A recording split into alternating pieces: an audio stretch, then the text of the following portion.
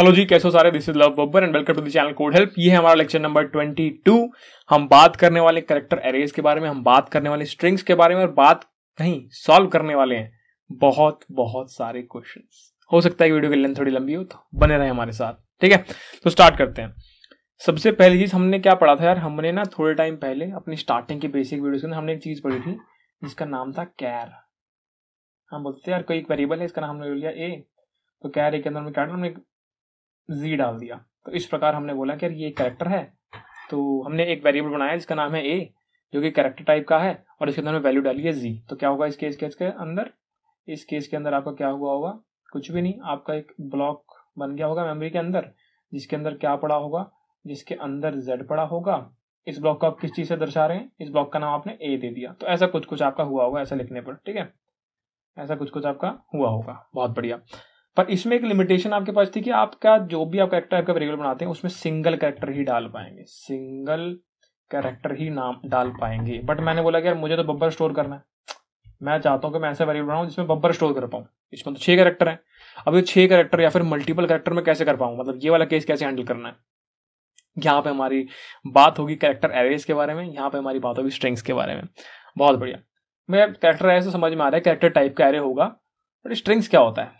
बहुत बढ़िया डाउट है आपका ये, इसको क्लियर करते हैं एक बार। मैंने बोला, यार स्ट्रिंग्स कुछ भी नहीं है।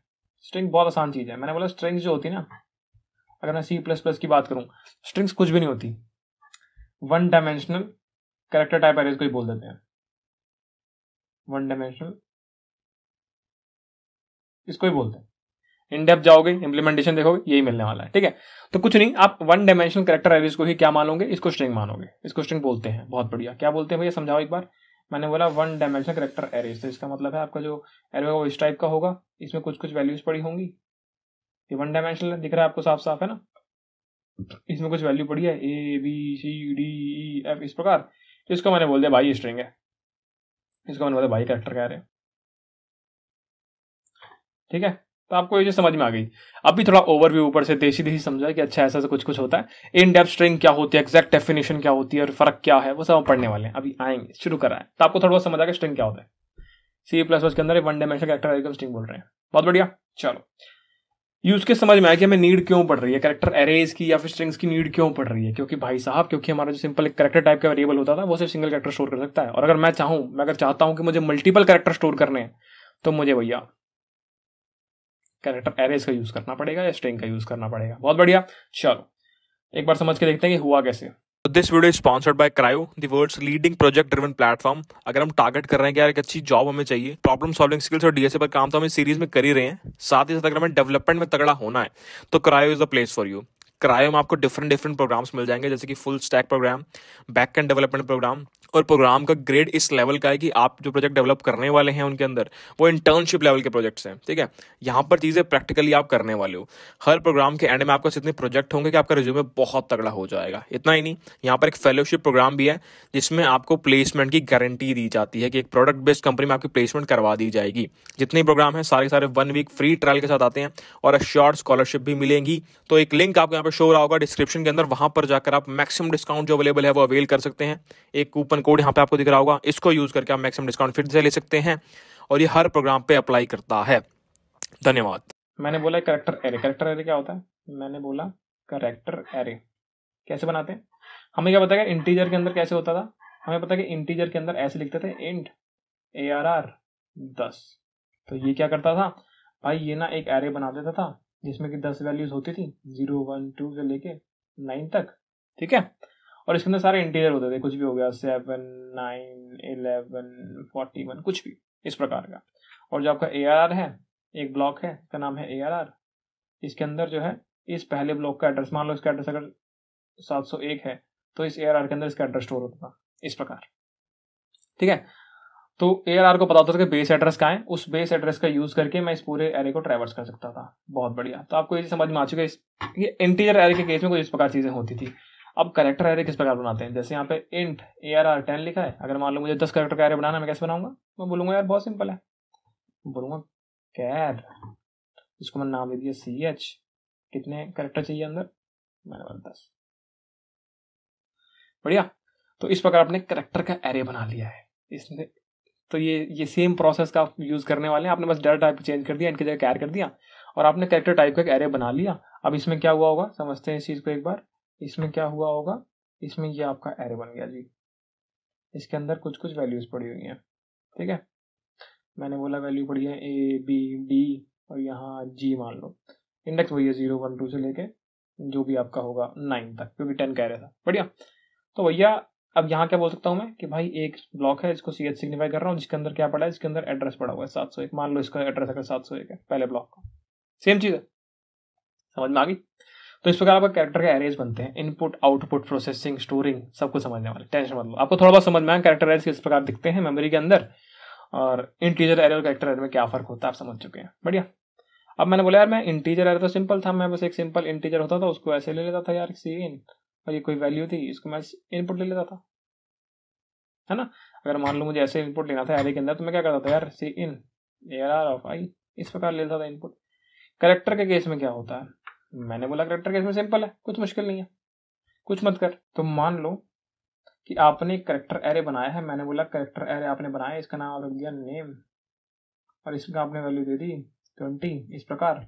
तो इनपुट कैसे लोगे? मैंने बोला इनपुट लेना बहुत आसान है। आपको क्या करना है? सी इन नेम बहुत आसान। तो अब अगर आपने अपने इनपुट में बोला कि यार, जैसे उसने आपसे बोला कि एंटर आपने लिख दिया बब्बर, या जो भी आपका नाम है तो बब्बर कहाँ तक स्टोर हो गया? बब्बर जाके इस नेम एरे में स्टोर हो चुका होगा। बहुत बढ़िया। किस प्रकार स्टोर होगा वो देख लेते हैं एक बार। तो आपका जो एरे होगा वो इस प्रकार का होगा।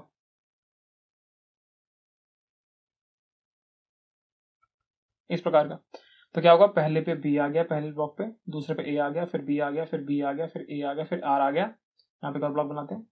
Zero one two three four five इस प्रकार। सिक्स और ये आपका नाइनटीन एक चीज़ का ध्यान रखना। जब भी आप इनपुट लेते हैं तो ऑटोमेटिकली क्या होता है? ऑटोमेटिकली जब भी आपका इनपुट खत्म होता है तो आर पे आपका इनपुट खत्म हो गया। तो यहाँ पे क्या हुआ? आर के अगले वाले मेमोरी ब्लॉक के अंदर इन्होंने एक करेक्टर ऐड कर दिया, इसको बोलते हैं नल करेक्टर क्या बोलते हैं? नल करेक्टर अभी नल करेक्टर क्या चीज़ है भैया? मैंने बोला, वो दोस्त, आपको मैंने एस का वैल्यू एस का टेबल देखने को बोला था ना एक बार, हमारे स्टार्टिंग लेक्चर में। तो कुछ नहीं है। एक ऐसा करेक्टर इसकी एस का वैल्यू ज़ीरो होती है। और जिसको हम यूज़ क्यों करते हैं? इसको हम यूज़ करते हैं एज अ टर्मिनेटर यूज़ करते हैं एज अ टर्मिनेटर वो जो मूवी वाला होता है ना, वो वाला नहीं, अलग है। टर्मिनेटर कैसे? जिससे मुझे पता लग जाए, जिससे मुझे पता लगे कि स्ट्रिंग कहा एंड हो रही है। डन है तो इस नल करेक्टर के द्वारा आप पता लगा पाते हैं कि आपकी स्ट्रिंग कहाँ पर एंड हो रही है। डन तो अगर मैं इसको कभी प्रिंट करने जाऊँगा तो कितना प्रिंट होगा? ये उतना ही प्रिंट होगा जहाँ तक आपका नल करेक्टर है। तो हमेशा आर तक ही प्रिंट होने वाला है। तो जब आप सी आउट करोगे तो वो देख लेगा यार यहाँ नल करेक्टर आ गया तो इसके पीछे पीछे का प्रिंट कर दे, इसके आगे प्रिंट करने की नीड नहीं है। समझ आई बात है बहुत बढ़िया। दोबारा समझते हैं इस चीज़ को एक बार। मैंने आपको क्या बोला कि आपने कोई भी एक नेम इनपुट करा लिया, आपने सीन नेम किया, फिर आपने मान लो इनपुट में एंटर कर दिया, आपका नाम, आपने लिखा लव तो क्या हुआ होगा? पहले ब्लॉक में एल आ गया होगा दूसरे ब्लॉक में ओ तीसरे ब्लॉक में वी चौथे में ई अब मुझे पता लगे मेरी स्ट्रिंग खत्म हो गई। जब मेरी स्ट्रिंग खत्म हो गई तो ऑटोमेटिकली लास्ट करेक्टर ई के बाद एक नल करेक्टर ऐड हो जाएगा। इस प्रकार। तो ये आपका इनपुट लेने का तरीका है। इस प्रकार आपका इनपुट जाता है करेक्टर एरिस के केस के अंदर। क्या चीज़ हम समझ पा रहे हैं? बहुत अच्छी बात है। ठीक है? तो ये चीज़ आपको समझ में आ गई कि यार ठीक है इनपुट कुछ इस प्रकार रहता है। अब मैं आगे जाऊँ। अगर मैं आपको बोलूँ कि यार चलो ये सब तो ठीक है आउटपुट का बता दो मुझे एक बार। आपने बोला मुझे आउटपुट में देना है या मुझे सी आउट करना है? मैंने बोला सी आउट नेम इस केस में क्या होगा? इस केस में क्या होगा? मान लो हम इस, इसी वाले स्ट्रिंग को उठा लेते हैं तो ये क्या करेगा? करेक्टर बाय करेक्टर प्रिंट कर रहा होगा। ये बोलेगा एल को प्रिंट कर दे दोस्त ओ को प्रिंट कर दे वी को प्रिंट कर दे ई को प्रिंट कर दे नल करेक्टर आ गया रुक जा। बस खत्म। रुक जा खत्म। प्रोसेसिंग समझ में आई? इसने क्या बोला कि यार एल को प्रिंट कर दे ओ को प्रिंट कर दे वी को प्रिंट कर दे ई को प्रिंट कर दे, अरे नल करेक्टर आ गया, रुक जा। इनपुट केस में भी यही हुआ था। जब आपने लव दिया था इस प्रकार तो इसने क्या बोला था? एल को डाल दे ओ को डाल दे वी को डाल दे ई को डाल दे, और कुछ नहीं है नल करेक्टर डाल दे फिर ऐसा कर। तो इस प्रकार आपका इनपुट हुआ था। तो आपने इनपुट और आउटपुट दोनों किस प्रकार के प्रोसेस होते हैं करेक्टर एरेज के अंदर, ये समझ लिया। नल करेक्टर की क्या सिग्निफिकेंस है, ये भी समझ लिया। मान लो मैंने क्या किया? मैंने एरे बना लिया। मैंने बोला A null character B null character और सी नल करेक्टर ऐसा इसमें चीज़ें डाल दी। अब क्या प्रिंट होगा? इस केस के अंदर क्या प्रिंट होगा, समझते हैं। हमने ए को प्रिंट किया, फिर नल करेक्टर आ गया, उसने वाला रुक जा। खत्म। तो आपका सिर्फ़ ए ही प्रिंट होगा इस केस के अंदर। जैसे ही आप एक नल करेक्टर पकड़ लेंगे, आपका कंपाइलर देखेगा नल करेक्टर आ जाएगा रुक जाएगा वहीं पर आगे वाले को प्रोसेस नहीं करेगा। ठीक है? एक चीज़ और समझते हैं इस बार। ठीक है? इसको हम करके देखें तो ज़्यादा समझ में आएगा। तो एक बार इसको करने का ट्राई कर लेते हैं तो आपको चीज़ें अच्छे समझ में आएँगी। मैंने क्या बोला? ठीक है? तो हमने क्या किया? हमने सबसे पहले कैरेक्टर टाइप का एरे बना लिया। मतलब कैर सी एच हमने बोला नेम नेम इसका हमने वेरिएबल नाम डाल दिया और बीस की हमने इसमें साइज़ डाल दिया। हमने बोला इसको सी इन कर ले दोस्त। सी इन नेम इससे पहले मैंने एक बार थोड़ा देखने में अच्छा लिखने के लिए बोल दिया कि यार C out enter your name ठीक है? तो इसको एक बार हम सीन कर लिया। और यहाँ पे मैं प्रिंट भी कराया था एक बार। योर नेम इज़ मैंने इसको प्रिंट कर दिया। बहुत बढ़िया। मैंने बोला रन करो। उसने बोला एंटर योर नेम मैंने बोला, भाई, नाम तो मेरा अच्छा सही है। मैंने बोला, बब्बर। अपना नाम कौन इतना गलत लिखता है? मैंने बोला, बब्बर। एंटर मार दिया। उसने बोला योर नेम इज़ बब्बर। इसको थोड़ा हटाते हैं यहाँ से, इसकी नीड नहीं है। फालतू में गंदा दिख रहा है। एक स्पेस कम कर दो। अब दोबारा चलाते हैं एक बार। मैंने बोला रन कर दो। उसने बोला एंटर योर नेम मैंने बोला, बब्बर। उसने बोला योर नेम इज़ बब्बर। उसने बोला योर नेम इज़ बब्बर। बहुत बढ़िया। ठीक है? तो अब मैंने क्या बोला? मैंने बोला कि चलो ठीक है, मैं पूरा नाम डाल के देखता हूँ। मैंने बोला रन करो। उसने बोला एंटर मैंने बोला लव बब्बर। उसने बोला योर नेम इज़ लव अच्छा उसने लव तो पिक कर लिया, पर बब्बर पिक नहीं कर पाया वो। क्यों? इस चीज़ को समझते हैं। मैंने क्या दिया उसको इनपुट में? मैंने उसको इनपुट में ना यार दो चीज़ें दी। मैंने उसको बोला लव बब्बर। ये लव है, ये स्पेस है और ये बब्बर है। तो एक चीज़ हमें यहाँ पे समझनी पड़ेगी, एक चीज़ हमें यहाँ पे समझनी पड़ेगी, ये है लव ये है स्पेस ये है बब्बर। तो आपको समझना पड़ेगा, जो आपका सी इन है, वो एग्जीक्यूशन को स्टॉप कर देता है। एग्जीक्यूशन को स्टॉप कर देता है कब? जब भी आप उसको स्पेस देंगे, जब भी आप उसको टैब देंगे, जब भी आप उसको न्यू लाइन कैरेक्टर देंगे, यानी कि एंटर है ना? इसको स्पेस को तो आपको पता है स्पेस कैसे मारते हैं आप, है ना? समझ गए आप, मैं क्या दर्शाना चाह रहा हूँ। खाली आपने स्पेस बाहर से दबा दिया। टैब कैसे बनता है? टैब ऐसा होता है कैरेक्टर और न्यू लाइन कैसी होती है? न्यू लाइन ऐसी होती है। ठीक है? तो आपको ये चीज़ समझ में आनी चाहिए कि जब भी ये तीनों में से कोई एक चीज़ आप डाल देंगे ना तो आपका सीन वहाँ पे एग्जीक्यूशन स्टॉप कर देगा। कैसे? मैं दोबारा समझाता हूँ आपको। मान लो मैंने यहाँ पे टैब डाला था स्पेस की जगह। मैं लिख रहा हूँ लव स्पेस की जगह मैंने टैब डाल दिया। टैब को पता है कैप्स लॉक के ऊपर वाला। टैब मारा, बब्बर। अभी भी लव ही आ रहा अब मैंने दूसरा फिर चलाया। स्पेस और टैब में देख लिया मैं एंटर मारूँगा। मैंने बोला लव स्पेस नहीं मारना। न्यू लाइन के लिए एंटर मार दिया। ओ एंटर के टाइम पर उसने सीधा लव आंसर ले लिया। बब्बर लिखने नहीं दिया उसने मुझे। ठीक है? तो आपको तो समझ में आई कि सीन के केस में स्पेस टैब और एंटर अगर पड़ गया तो भाई एग्जीक्यूशन स्टॉप हो जाएगा। आगे कैरेक्टर कंसिडर नहीं किया जाएगा। कैसे कर सकते हैं? क्या तरीका? बताएँगे आपको। टेंशन मत लीजिए। पर अभी हमें क्या इतनी चीज़ समझ में आ चुकी है? क्या हम इतनी चीज़ समझ में आ चुकी है? एक चीज़ और करते हैं, चलो। मैंने यहाँ पे क्या किया? क्लियर करता हूँ पहले इसको। मैंने यहाँ पे क्या किया? मैंने इसको रन किया और मैंने लिखा बब्बर। बब्बर आ गया। अगर मान लो मैं इस केस में ऐसा कुछ कर दूँ, मैं इस केस में ऐसा कुछ कर दूँ कि B A B B A R और एक नल कैरेक्टर इस प्रकार स्टोर हुआ पड़ा होगा। आपके मतलब अगर मैं इन डेप्थ जाऊँ बिहाइंड द सीन्स देखें स्टोरेज के अंदर तो इस प्रकार स्टोर हुआ पड़ा होगा, ये सात कैरेक्टर होंगे। अगर मैं ऐसा करूँ कि यार जो तीसरा कैरेक्टर है ना, यानी ये छोटे वाला बी इसकी जगह पे नल कैरेक्टर डाल दे यानी B A null character B A R null character इस केस में क्या प्रिंट होना चाहिए? कायदे से बी प्रिंट होगा, फिर ए प्रिंट होगा, फिर नल कैरेक्टर आगे रुक जाओगे आप तो बी और ए प्रिंट होना चाहिए। अब देखते हैं क्या होने वाला है। तो हमने क्या बोला? कुछ मत कर नेम की सेकेंड इंडेक्स पे नल कैरेक्टर डाल दे दोस्त, इतना कर दे बस। अब इसको प्रिंट करते हैं। हमने बोला कि मेरा नाम क्या है? बब्बर। इधर नहीं, उधर लिखना है। आपका आंसर क्या आ गया? सिर्फ़ बी आपको लॉजिक समझ में आ गया। क्या हुआ? अच्छे से समझाते हैं आपको। अच्छे से समझाते हैं आपको, ताकि क्लैरिटी मिल जाए आपको। आपने क्या किया? एक एरे बना दिया। इसमें ना यहाँ पे पड़ा हुआ है इसको ऐसे करते हैं, ऐसे करते हैं, ऐसे करते हैं, ऐसे करते हैं, ऐसे करते हैं, ऐसे करते हैं। फिर ऐसे करते हैं, ऐसे करते हैं। आपने कहा B A B B A R और नल कैरेक्टर इस प्रकार का आपका एरे पड़ा हुआ है। आपने क्या किया? आपने नेम के सेकंड इंडेक्स में भी नल कैरेक्टर डाल दिया। सेकंड इंडेक्स कौन सा है? ज़ीरो वन टू थ्री और ये जो भी आपका नाइनटीन यहाँ पे डाला इसका मतलब आपने। अब इस एरे की वैल्यू क्या हो चुकी है? बी ए फिर यहाँ नल कैरेक्टर है। फिर बी ए आर फिर यहाँ नल कैरेक्टर है। इस प्रकार, यहाँ कुछ गार्बेज वैल्यूज़ होंगी यार। जहाँ आपने कुछ नहीं डाला, वहाँ पे गार्बेज वैल्यूज़ पड़ी होगी। तो अब आप जब प्रिंट करने निकल रहे हैं, आपने बोला इसको प्रिंट कर सकता हूँ। बी लिख दिया। इसको प्रिंट कर सकता हूँ। ए लिख दिया। फिर नल कैरेक्टर आ गया, आपने रुक जा बस खत्म। तो आपने बी ए इस प्रकार प्रिंट कर दिया था। आपको लॉजिक समझ में आ चुका, ठीक है, कि कितने ही मल्टीपल करेक्टर हो मेरा तो पहला नल करेक्टर आएगा, वहीं रुक जाऊँगा भाई। सीधी सी बात है। अपना तो सीधे से हिसाब किताब है। बढ़िया। तो ये चीज़ हमें समझ में आ गई, हम समझ में आ सी इन कैसे बिहेव करता है, हमें समझ में आ गया, सी आउट कैसे बिहेव करता है, और चीज़ें क्लियर है हमारे लिए। बहुत बढ़िया।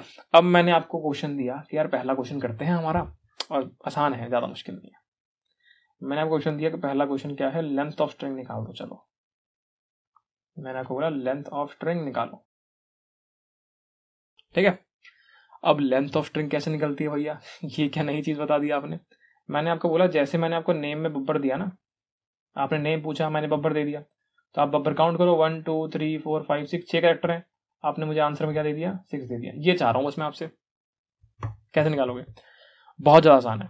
हमें क्या पता कि ये बब्बर मेमोरी में कैसे स्टोर होगा? B A B B A R और एक नल वेक्टर अच्छा तो अगर मुझे पता कि ये इंडेक्स जो है वो ज़ीरो है और मेरी स्ट्रिंग कहाँ खत्म हो रही है, मेरी स्ट्रिंग नल कैरेक्टर पे खत्म हो रही है तो मैं क्या लेंथ निकाल पाऊँगा? बहुत आसान है। मैं ज़ीरो से स्टार्ट करता हूँ। एक, दो, तीन, चार, पाँच, छ। फिर हम नल कैरेक्टर पहुँचे। अरे हाँ तो काउंटिंग नहीं करनी, रुक जा। समझ आई? ज़ीरो इंडेक्स से काउंटिंग शुरू करी। एक, दो, तीन, चार, पाँच, छः। जैसे ही कैरेक्टर मिला, आपने बोला, रुक जाए यार, खत्म। तो आपने जो आपका लास्ट आंसर था, वही प्रिंट कर दिया कि आंसर इक्वल टू सिक्स आसान था? एक बार लिख के देखते तो और आसान लगेगा। मैंने क्या बोला, एक फ़ंक्शन बनाओ। इंट गेट लेंथ और यहाँ पे आपने क्या दिया? अपना करेक्टर का एरे पास कर दिया। मान लेते हैं इसका नाम है नेम आपको याद होगा कि लास्ट टाइम या हमने जितने भी एरे के क्वेश्चन किए हैं तो जब भी हम एरे पास किया करते थे, हमें उसका साइज़ भी पास करना पड़ता था। करेक्टर एरे में ऐसा करने की कोई भी नीड नहीं है। क्यों? अभी पता लग जाएगा। आपने बोला for int i is equal to zero zero से स्टार्ट करूँगा। कहाँ तक जाऊँगा? जब तक नल करेक्टर नहीं मिलता, वहाँ तक जाऊँगा। इसका मतलब name of i not equal to null character अच्छा। और आई को आगे बढ़ा दिया। समझ गए? तो जब तक नल करेक्टर नहीं मिल रहा, मैं बस आगे बढ़ता जा रहा हूँ। मुझे काउंटिंग स्टोर करनी थी वेरिएबल बना लिया int count is equal to zero कुछ भी नहीं है। आप काउंट को बस बढ़ाते जा रहे हो। ठीक है? बाहर आ गए काउंट को आपने वापस भेज दिया। ये आपका लेंथ का फ़ंक्शन तैयार है बिल्कुल। ठीक है? यहाँ से हमें कॉलन आएगा। तो इस प्रकार आपने लेंथ निकाल ली यार। इसको मैं एक बार हटा देता हूँ। और मैंने बोला यहाँ पे आके कि यार C out length get length और यहाँ पे आपका नेम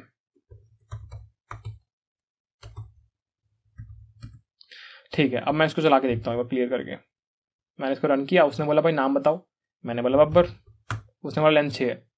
इस प्रकार ज़ीरो इंडेक्स से चला के, और जब तक हमें नल करेक्टर नहीं मिलता, हमने अपना लेंथ का फ़ंक्शन तैयार कर लिया। हमें अब स्ट्रिंग की लेंथ निकालनी आ चुकी है। पहला कोड हमारा तैयार है, बिल्कुल। मैं आशा करता हूँ आपको समझ में आ चुका होगा और पढ़े आसानी समझ में आया होगा। ठीक है? बहुत बढ़िया। अब हम इतना सीख चुके हैं तो धीरे धीरे आगे बढ़ना शुरू करते हैं। अब मैं आपको बोलता हूँ कि अगला क्वेश्चन करते हैं और अगला क्वेश्चन क्या कहता है? अगला क्वेश्चन कहता है reverse a string reverse a string कुछ भी नहीं है। अगर आपको इनपुट में एक स्ट्रिंग दी हुई है, जिसकी वैल्यू है Babbar B A double B A R और आपने बोला कि यार इसका रिवर्स कर दो तो आपका आंसर क्या होना चाहिए? R A B B A B इसको आपने उल्टा लिख दिया, बस R A B B A B ठीक है? तो आपको ये रिवर्स करके देना है यार। ये आपकी रिवर्स स्ट्रिंग है। अगर ये इंटीजर एरे में होता तो आपके लिए बहुत आसान था। मैं आपको इंटीजर एरे बना के देता कि one two three four five इसको रिवर्स कर दो। तो आप मुझे five four three two one दे सकते थे? आपको आता है, आप सीख चुके हैं वो स्वैप वाला लॉजिक स्टार्ट एंड स्वैप है ना? क्या बोलूँ कि यहाँ भी सेम लॉजिक लिखना है? बिल्कुल सेम लॉजिक लिखना है। कुछ भी खास खतरनाक ऐसा मुश्किल नहीं है। सिंपल चीज़ें हैं। ठीक है? चलो। मैंने बोला यार कि दोस्त ऐसा कर। इसको रिवर्स करना है। वर्ड कर दे। वर्ड रिवर्स आपने बोला कि कैर नेम ठीक है? यहाँ अपने आपने मान लो लेंथ भेज दी। अब तो आप लेंथ निकाल चुके हो ना। तो यहाँ पे क्या दिक्कत हुई है? Return value is not math function अच्छा ऊपर हम लिख रहे हैं इसलिए दिक्कत आ रही है। इतना आपने कर दिया। ठीक है? मैं बोलूँ यार int S is equal to zero बहुत बढ़िया। मैं बोलूँ int E is equal to N minus one इतना ही तो करते थे पहले इंटीजर के केस में रिवर्स करना होता, बहुत बढ़िया। मैंने बोला while S less than E कुछ भी नहीं करना होता। एग्जैक्ट सेम कोड आने वाला है। स्वैप ये आपका name S plus plus name E minus minus मैंने बोला, दोस्त को हो गया कोड इतना ही कोड था बस। अब अपनी दोबारा एक बार प्रिंट करके देख लो। रिवर्स करने के बाद। रिवर्स नेम कामा यहाँ पे आपने इसको स्टोर करा लिया, मान लो कहीं पे।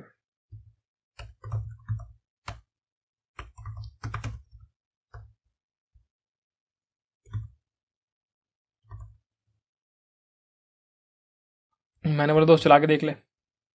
उसने बोला एंटर नेम मैंने बोला, बब्बर। उसने भाई साहब रिवर्स करके दे दिया। तो एग्जैक्ट जो हमने इंटीजर के केस में रिवर्स किया था वही सेम रिवर्स यहाँ पे भी हम चला पा रहे हैं। हमारे लिए करना बहुत ज़्यादा आसान था। डन है। बहुत बढ़िया। बहुत बढ़िया। सही जा रहे हैं बिल्कुल हम। मैंने बोला, यार, कोई क्वेश्चन मिलेगा कि सॉल्व करने के लिए? सारे टेस्ट केस पास करा के चेक कर लेंगे। आपने बोला कि भैया, बिल्कुल सही लॉजिकल बात करी आपने तो। तो आगे चलते हैं। उसमें write a function that reverse string यानी आपको स्ट्रिंग दी हुई है इस प्रकार की। इसमें मतलब किस फॉर्म में दिया? वेक्टर ऑफ़ कैर दिया यार, चाहे हम वेक्टर ऑफ़ इंट बनाएँ या इंट का एरे बनाएँ सेम चीज़ थी। तो सेम उसी प्रकार सेम चीज़ है, कुछ इसमें खास डर मत जाना कि वेक्टर ऑफ़ कैर लिख कुछ मुश्किल हो गया सेम चीज़ है। जैसे हमने वेक्टर एरे भी पढ़ा, वही सेम चीज़ है, कुछ अलग नहीं है। उसने बोला इन प्लेस ना, इसको रिवर्स करते दोस्त। इन प्लेस रिवर्स करते मतलब एक्स्ट्रा मेमोरी मत लियो, जितनी मेमोरी दे रही है, इसी में कर दो, जो करना है। मैंने बोला, ठीक है सिंपल है, कोई दिक्कत नहीं मैंने बोला, मेरा फ़ंक्शन कहाँ कॉपी करना है एक बार? मैंने बोला, ये ले मेरा फ़ंक्शन ठीक है? तो ये है मेरा फ़ंक्शन और ये जो है इस प्रकार है। या छोड़ो, मैंने इसको उठा के यहीं डाल दिया। मैंने इसको उठा के यहीं डाल दिया, इसकी नीड ही नहीं है। उसने बोला रिवर्स करनी है स्ट्रिंग तो स्टार्ट होना चाहिए ज़ीरो से एंड होना चाहिए। एन माइनस वन एन इस केस में क्या है? एन है इस केस में V S dot S dot size done है? क्या इसे में समझ में आ रही है? आगे चलते हैं। While S then less than E swap name name name vector का नाम है एस अगर वेक्टर का नाम ऐसा तो यहाँ पे चेंज करना पड़ेगा। एस टी कर दिया इसको हमने। एस टी कर दिया इसको हमने। एस टी कर दिया इसको हमने। इंडेंटेशन थोड़ी ऐसी तैसी कर रखी है हमने, अभी ठीक कर देते हैं। बहुत बढ़िया। मैंने बोला ट्राई करके देखिए एक बार चला गया। रन करिए एक बार। एक बार ट्राई करियो। उसने बोला चल गया। मैंने बोला, सारे डेस्क पे चलाना भाई, ऐसे का देख रहा उसने बोला, यार, तूने बहुत जल्दी चला, थोड़ा रुक जा। मैं एक बार ट्राई कर। ठीक है। तो हमारा सारा चल रहा है। मैंने बोला एक टेस्ट केस खुद बना लेता हूँ। मैंने सारे वेरिएबल हटा दिए, सारे कैरेक्टर हटा दिए, सिर्फ़ एक कैरेक्टर रख लिया। और दूसरे केस में एक भी कैरेक्टर नहीं रखा। ये थोड़े फटने वाले केस हो सकते हैं। तो एक बार ये चेक कर लेते हैं। मैंने बोला, चलाइयो। यहाँ पे उसने बोला कि स्ट्रिंग की लेंथ एटलीस्ट वन तो होनी होनी है। तो वो ये वाला टेस्ट केस वैलिड ही नहीं है। इसको हटा सकते हैं। रन करियो। सही चल रहा है। तो मैंने बोला, यार ऐसा कर, एक बार ट्राई करके देख इसको ना सबमिट करके देख, क्या पता कि सही आ जाए आंसर उसने बोला, भाई, क्या पता क्या, पक्का सही आना है। तो इस प्रकार आपने एक स्ट्रिंग को रिवर्स करना सीख लिया, आपने क्वेश्चन क्लियर भी कर दिया टेस्ट के भी सारे पास कर दिए, वही मज़े मज़े में। जो अंडरस्टैंडिंग आपकी एरे के टाइम पे थी रिवर्स करनी है वही सेम अंडरस्टैंडिंग आपने यहाँ पे लगा दी। आपका काम धमाकेदार तरीके से हो गया। ठीक है? तो ये क्वेश्चन हमें समझ में आ चुका है। अगले क्वेश्चन की तरफ़ चले। अगला क्वेश्चन क्या कहता है? Check if a string is a palindrome okay palindrome क्या होता है? पहले आपको ये समझाना पड़ेगा। थर्ड क्वेश्चन क्या कहता है? थर्ड क्वेश्चन कहता है कि चेक पैलेंड्रोम ये वो क्वेश्चन है जो मेरे से मेरे कॉलेज टाइम पे प्रैक्टिकल में पूछा गया था और मैं ऐसा था कि राम, इतना मुश्किल क्वेश्चन कोई कैसे पूछ सकता है? और है कुछ भी नहीं, बहुत आसान चीज़ है। देखो पैलिंड्रोम क्या होता है? कोई एक इस प्रकार की स्ट्रिंग कोई एक इस प्रकार की स्ट्रिंग जब मैं स्ट्रिंग बोलता हूँ तो वही कैरेक्टर कह रहे समझ के चलो बन गया। कोई इस प्रकार की स्ट्रिंग मान लेते हैं, कैसी है?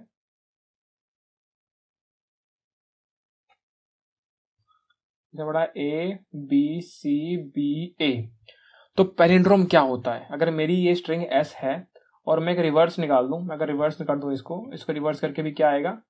A B C B A same आ रहा है। अगर ये दोनों मेरे सेम है एग्जैक्ट सेम है तो भैया पेलिंड्रोम है। ये लॉजिक है। क्या बोला मैंने? मैंने बोला एक स्ट्रिंग मुझे दी हुई है, अगर उस स्ट्रिंग का रिवर्स भी वही सेम स्ट्रिंग जनरेट करता है तो उसको मैं पेलिंड्रोम बोलता हूँ। इस टाइप की स्ट्रिंग्स को मैं पेलिंड्रोम बोलता हूँ। क्या मैं बोल सकता हूँ कि कार एक पैलेंड्रोम है? कैसे? ये कार जो है, ये आपकी ओरिजिनल स्ट्रिंग है। रिवर्स स्ट्रिंग क्या हो जाएगी? आर ए सी क्या दोनों इक्वल है? ना तो ये पैलेंड्रोम नहीं है। मैंने बोला कैट इक्वल है क्या? नहीं यार टी ए सी है, कहाँ से इक्वल है? नहीं है भाई। मैंने बोला, यार, बब्बर इक्वल होगा क्या? आपने बोला, बब्बर तो ये रहा, इसका रिवर्स क्या होगा? R A B B A B नहीं है इक्वल रे समझ में आई बात? मैंने बोला, यार, कुछ तो होगा, कुछ तो होगा, कुछ तो होगा। मैंने बोला, नून एन डब्लो एन ये आपकी मेन स्ट्रिंग है, इसको रिवर्स करूँगा अगर तो रिवर्स करके भी नून ही आएगा। क्या दोनों इक्वल है? आपने बोला, भैया, बिल्कुल इक्वल तो भाई, ये पैलिंड्रोम है ठीक है? तो इस प्रकार आपको समझ में आ गया कि अगर कोई ओरिजिनल स्ट्रिंग और उसी स्ट्रिंग का रिवर्स एक्जैक्टली इक्वल आ रहा है सेम टाइप का आ रहा है सेम ही आ रहा है तो भैया, इस प्रकार की स्ट्रिंग को पैलिंड्रोम बोल देता हूँ। ठीक है? अब हम चलते हैं क्वेश्चन के ऊपर। क्वेश्चन क्या कह रहा था? रिश्ता क्या कहलाता है? क्वेश्चन ने हमें ये वाला एग्ज़ाम्पल दिया, दोस्त, इस प्रकार का। इसने इसमें यस बोल दिया कि पैलिंड्रोम है चेक करते हैं। एक बार क्वेश्चन हम ध्यान से पढ़ेंगे तो हमें समझ में आएगा कि उसने बोला कि यार consider alphabets and numbers only ignore करना सिंबल्स को और वाइट स्पेसिस को। सिर्फ़ अल्फाबेट्स को और नंबर को ही मान के चलना है हमें। ठीक है तो ये आपको क्वेश्चन होमवर्क में दे सकता हूँ। इसकी नॉर्मल वेरिएशन मैं आपको करके दिखाता हूँ। ठीक है? चलो। तो मैंने क्या बोला कि यार, मुझे ना चेक करना है। मुझे बताना है, कोई स्ट्रिंग मुझे इनपुट में दी होगी? कोई स्ट्रिंग मुझे इनपुट में दी होगी? और मुझे बताना है आउटपुट में? कि भाई ये पैलिंड्रोम है या नहीं है? इस प्रकार का क्वेश्चन मेरे सामने है। ये मेरा क्वेश्चन है। वो वाला क्वेश्चन आपको होमवर्क में दूँगा। अगर आपको ये समझ में आएगा तो वो भी कर लोगे। तो मैंने बोला, दोस्त, बहुत सिंपल है। बहुत ज़्यादा सिंपल है। पहला अप्रोच जो आपके दिमाग में आ रहा होगा अभी, वो क्या होगा? भैया, बहुत सिंपल मैं बताता हूँ, भैया, मैं बताता हूँ। मैं कहाँ बताओ दोस्त। आपने भैया, देखो एस वाली स्ट्रिंग तो मुझे ओरिजिनल स्ट्रिंग है, वो तो मुझे दी हुई है। कुछ कुछ कुछ पड़ी हुई है। मैं क्या करूँगा? मैं एक ना नई स्ट्रिंग बनाऊँगा। रिवर्स स्ट्रिंग बना दूँगा। रिवर्स ऑफ़ एस ये एक नई स्ट्रिंग निकाल लूँगा इसको रिवर्स करके। मैंने बोला, ठीक है। और फिर मैं क्या करूँगा? मैं एक फोर लूप चलाऊँगा, जिससे ना मैं इन दोनों स्ट्रिंग्स को कंपेयर करूँगा। कंपैरिजन के लिए। और कंपैरिजन करके मैं पता लगा लूँगा कि ये इक्वल है या नहीं है, और उस बेसिस पे मैं येस और नो प्रिंट कर दूँगा। मैंने बोला, दोस्त, बिल्कुल सही है बट यहाँ पे आपने क्या किया है? यहाँ पे आपने एक्स्ट्रा स्पेस ले लिया एक नई स्ट्रिंग बनाने के लिए। यहाँ पे आपने एक्स्ट्रा स्पेस ले लिया। कॉम्प्लेक्सिटी आपकी चलो ठीक है, आपने एक रिवर्स स्ट्रिंग बनाई ऑफ़ एन लगा होगा। कंपेरिजन किया ऑफ़ एन लगा होगा तो टोटल कॉम्प्लेक्सिटी आपकी ऑफ़ एन ही आ गई। टाइम कॉम्प्लेक्सिटी ठीक है। सही अच्छी सही अच्छी आ रही है। बट आपने एक्स्ट्रा स्पेस ले लिया दोस्त। मैं बोलूँ यार, इस बिना इस एरे के साथ करके दिखाओ तो वो वाली गेम आपको समझाते हैं एक बार हम अप्रोच सेकेंड आपकी। ठीक है? तो मैंने क्या बोला दोस्त बहुत आसान है। आपकी मान लो स्ट्रिंग जो दे रखी है, वो क्या दे रखी है? ए बी सी बी ए ठीक है? तो इसको अच्छे से बनाते हैं फिर समझाते हैं आपको।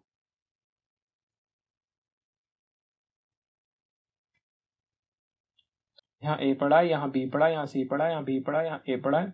इसका इंडेक्स ज़ीरो इसका वन इसका टू इसका थ्री इसका फोर अब ध्यान से देखो इस चीज़ को बहुत अच्छे से।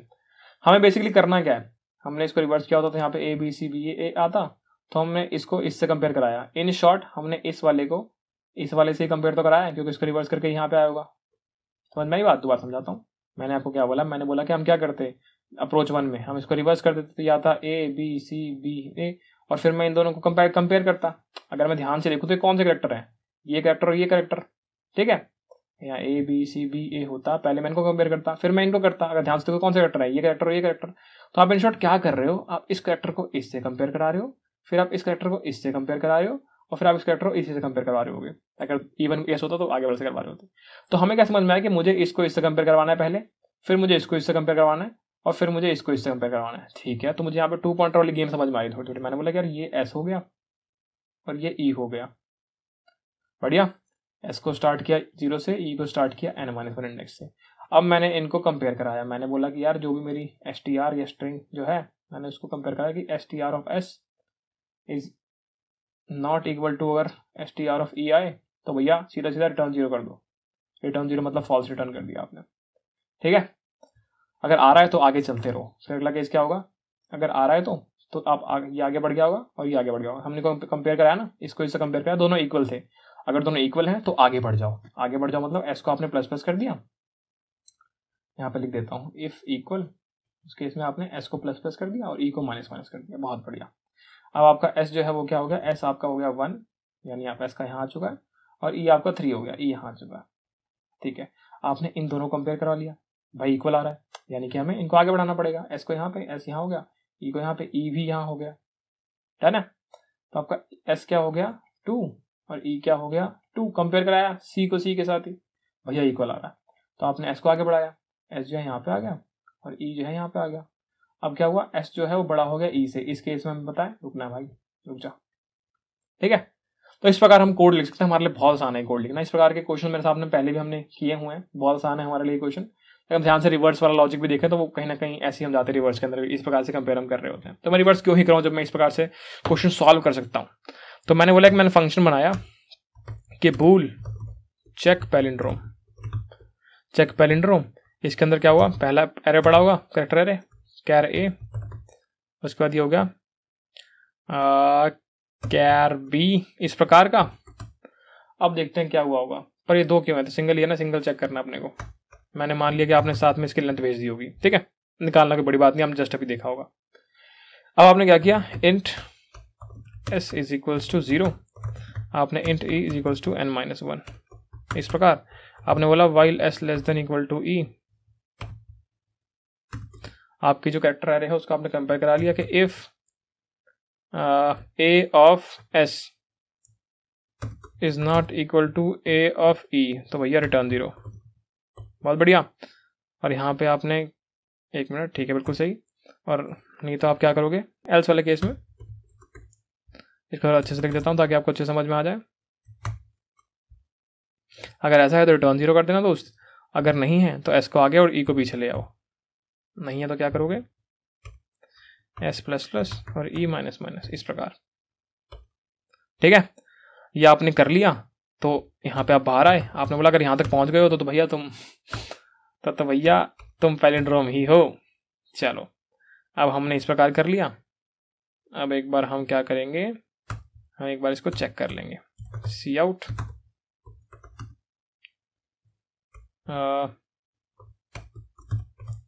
पैलिंड्रोम और नॉट आउटपुट क्या आ रहा है हमारा इस केस में? मैंने प्रिंट कर दिया किसको? चेक पैलिंड्रोम को, इसे मैंने अपनी स्ट्रिंग भेज दी, जो कि है नेम और उसका लेंथ भेज, जो कि है N sorry L E N अब मैंने क्या किया? अब मैंने इसको चला के देख लिया। मैंने क्लियर करा पहले इसको। मैंने बोला रन उसने बोला एंटी और नेम मैंने बोला बब्बर। उसमें नाम तुम्हारा बब्बर है, नाम तुम्हारा बब्बर है लेंथ इसकी छः है लेंथ छः है, आपका रिवर्स जो है वो इस प्रकार का आएगा। पेलेंड्रोम है या नहीं है? उसने बोला ज़ीरो फॉल्स नहीं है पेलेंड्रोम मैंने बोला, ठीक है, बिल्कुल सही बात है। मैंने बोला कि मेरा नाम है नून। नून। एंटर मारा। उसने मेरा पेलेंड्रोम है या नहीं है? भाई पेलेंड्रोम है। वन आ गया। मैंने बोला, एक वेरिएशन ट्राई करें? मैंने बोला, मेरा नाम है एन ओ एन ये वाला। एक एन बड़ा है, एक एन छोटा है। उसने कंपेयर करा, उसने बोला, नहीं। उसने बोला, नहीं है भाई तुम। तुम गलत बोल रहे हो। ठीक है तो इस चीज़ का ध्यान रखना एक बार क्वेश्चन के अंदर। क्वेश्चन में पढ़ लेना कि तुम्हें सेम करेक्टर को अपर केस को या लोअर केस को सेम चीज़ माननी है नहीं माननी है। जो हमने अभी लॉजिक लिखा है, वो अपर केस को अलग चीज़ मान रहा है। और लोअर केस को अलग चीज़ मान रहा है। तो इसलिए वो बोल रहा है पेरेंड्रोम नहीं है। क्वेश्चन में पढ़ना और समझना क्या वो सेम चीज़ तो नहीं। ठीक है? तो आपको पेरेंड्रोम का लॉजिक लिखना आ गया, कुछ भी नहीं होता। आपने स्टार्ट लिया एंड लिया। दो पॉइंटर लगाए, एक स्टार्टिंग में एंडिंग में। कंपेयर कराया सेम है, अंदर आ जाओ। एस आगे ई e पीछे। सेम है, अंदर आ जाओ, अंदर आ जाओ, अंदर आ जाओ। जब एस ई से आगे निकल जाए तो बोलो, भैया, तुम तो पैलेंड्रोम हो। या फिर कोई भी मैच ना हो तो भैया, तुम तो पैलेंड्रोम है ही नहीं। तो इस वक्त आपने पैलेंड्रोम निकालना भी सीख लिया है। अब चलते हैं हमारे क्वेश्चन के ऊपर, जो क्या कहता है वो पढ़ लेते हैं। ये कहता, तुम्हें एक स्ट्रिंग दी हुई है यार। स्ट्रिंग भैया स्ट्रिंग तो पढ़ाया ही नहीं आपने। अरे दोस्त, वही तो चल रहा है। अब स्ट्रिंग के द्वारा आपको समझाते हैं एक बार, इस चीज़ को same you are given string आपको चेक करने का पैलेंड्रोम है या नहीं है, और आपको सिर्फ़ अल्फाबेट्स या फिर नंबर को कंसिडर करना है। यानी ए से जेड तक मान लेना वैलिड चीज़, और ज़ीरो से नाइन तक वैलिड चीज़ मान लेना। जो भी extra character at the rate लगा है व्हाइट स्पेस लगा है उन सबको मत मानना यार। वो बकवास चीज़ें हैं। ठीक है? Ignore the symbols and white spaces S is not case sensitive समझ गए? S is not case sensitive तो इसका मतलब क्या है? कि चाहे अपर केस हो, चाहे लोअर केस हो, दोनों सेम चीज़ मान लेना यार।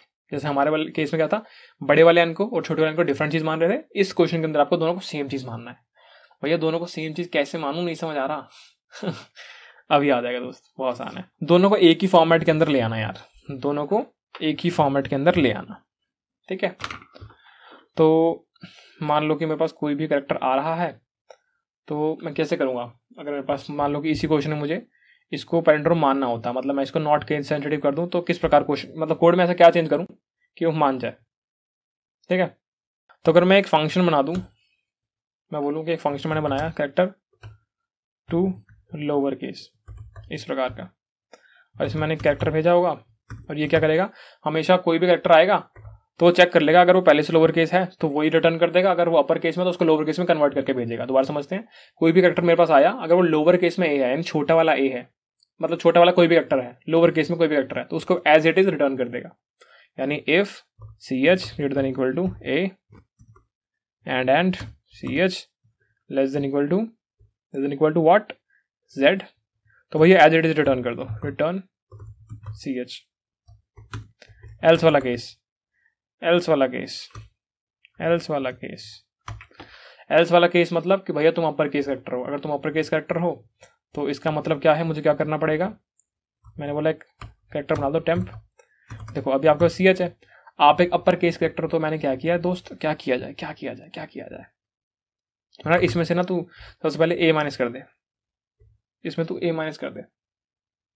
समझ में ये चीज़? इसमें तू ए माइनस कर दे। और फिर इसमें ना छोटे वाला ए प्लस कर दे। क्या इसे हमें समझ में आ रही है? और इसको रिटर्न कर दे दोस्त। अब देखते हैं इससे हमें क्या मिलेगा। समझते हैं।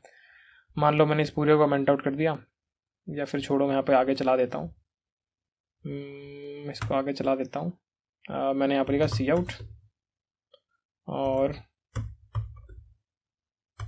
character is to lower case इसमें मान लो मैंने क्या भेज दिया होता? ए भेज दिया होता। या मान लो मैंने बी भेज दिया। पहली लाइन ये हो गई, और मैंने दूसरे केस में एक अपर अपर केस वाला कटर भेज दिया। मैंने इसमें बड़ा वाला बी भेज दिया। मान लो मैंने बड़ा वाला सी भेज दिया, ठीक है। अब मैंने इसको रन कर दिया। मैंने इसको रन किया।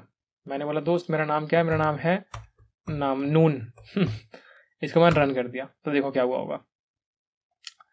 इसने बोला कि छोटे वाले बी के लिए आपका आंसर क्या आया? छोटे वाला बी ही आया है। और बड़े वाले सी को आपने लोअर केस वाला फ़ंक्शन भेजा तो आपका आंसर क्या है? छोटा वाला सी आ गया। बहुत बढ़िया। तो यानी बिक्सल सक्सेसफुली काम कर रहा है। मैं कोई भी इसको करेक्टर दूँगा ए से जेड के बीच में। अगर वो लोअर केस हुआ तो एज इट इज़ का एज इट इज़ आ रहा है। मैंने छोटा वाला बी दिया तो मुझे बी का बी आ गया। अगर मैंने बड़े वाला सी दिया तो मुझे लोअर केस में कन्वर्ट करना तो मैंने लोअर केस में कन्वर्ट कर दिया। भैया, कैसे किया? चल तो रहा है, पर कैसे किया? ये समझते हैं। मैंने क्या बोला?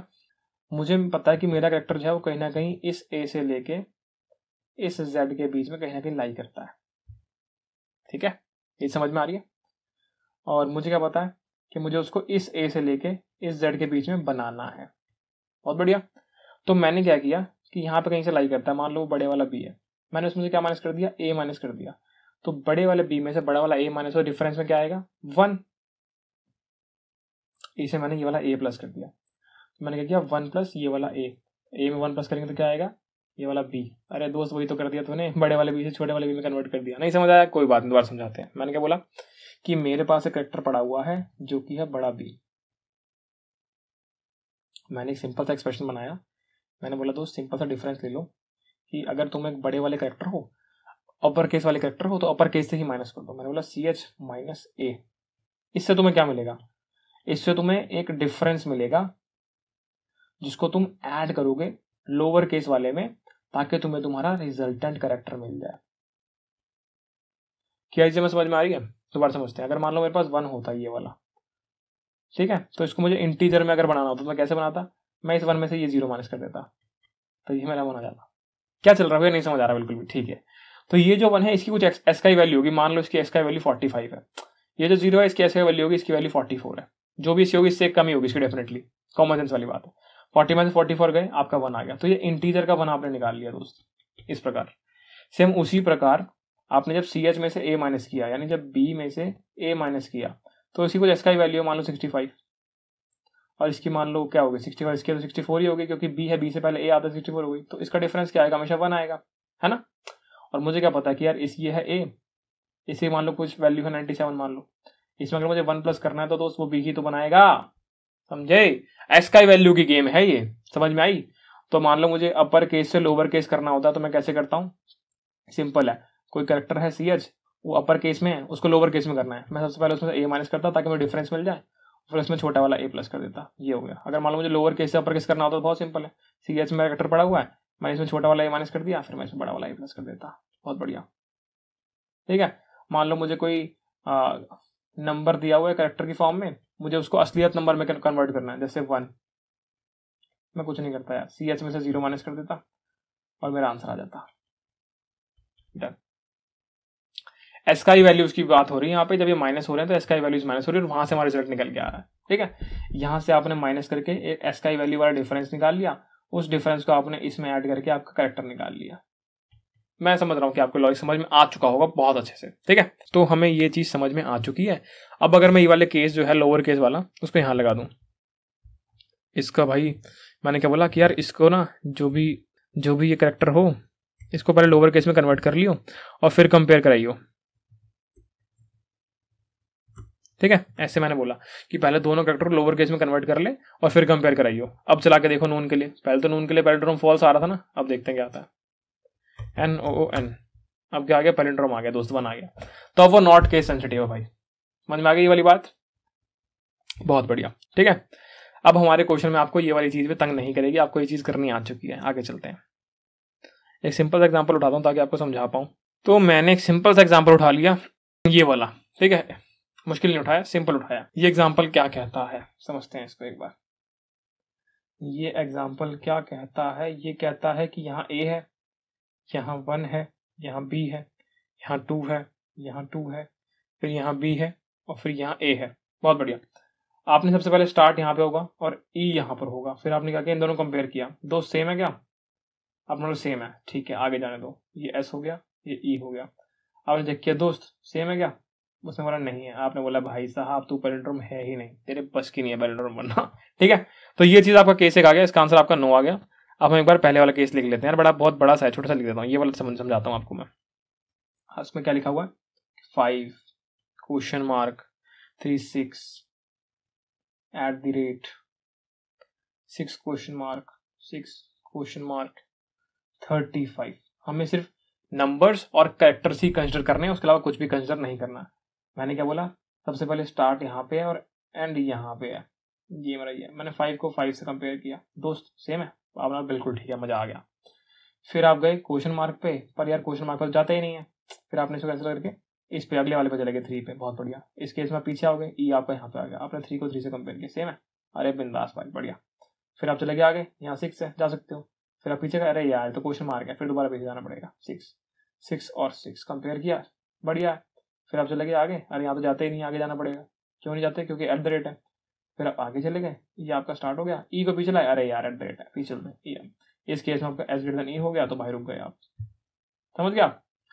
चीज़ें वही हैं। एक कंडीशन एक्स्ट्रा कि भाई फालतू के करेक्टर मत देखना कंसिडर मत करना। तो सिंपल सी जब भी आगे बढ़ाओगे तो ये चेक कर लेना क्या इस पर रुकना है मुझे? क्या ये नंबर या अल्फ़ाबेट में से एक है? अगर हाँ तो रुक जाता हूँ, नहीं तो और आगे बढ़ जाता हूँ। इस प्रकार चलना ठीक है? तो चेंजेस कहाँ पे आएँगे कोड के अंदर? चेंज कोड में कहाँ पर आएँगे? यहाँ पर आएँगे। S plus plus E minus one से यहाँ पर थोड़ा चेंज आएगा। यहाँ पर थोड़ा और आगे बढ़ना पड़ सकता है, अगर वो एक स्पेशल करेक्टर है स्पेस वाइट स्पेस प्रकार की कोई चीज़ है। तो ये वाला क्वेश्चन जो है ना, आपके लिए होमवर्क में आपको खुद सॉल्व करना है चेक इफ़ इज़ पैलेंड्रोम और नॉट बड़ा प्यारा क्वेश्चन मज़ा आ जाएगा।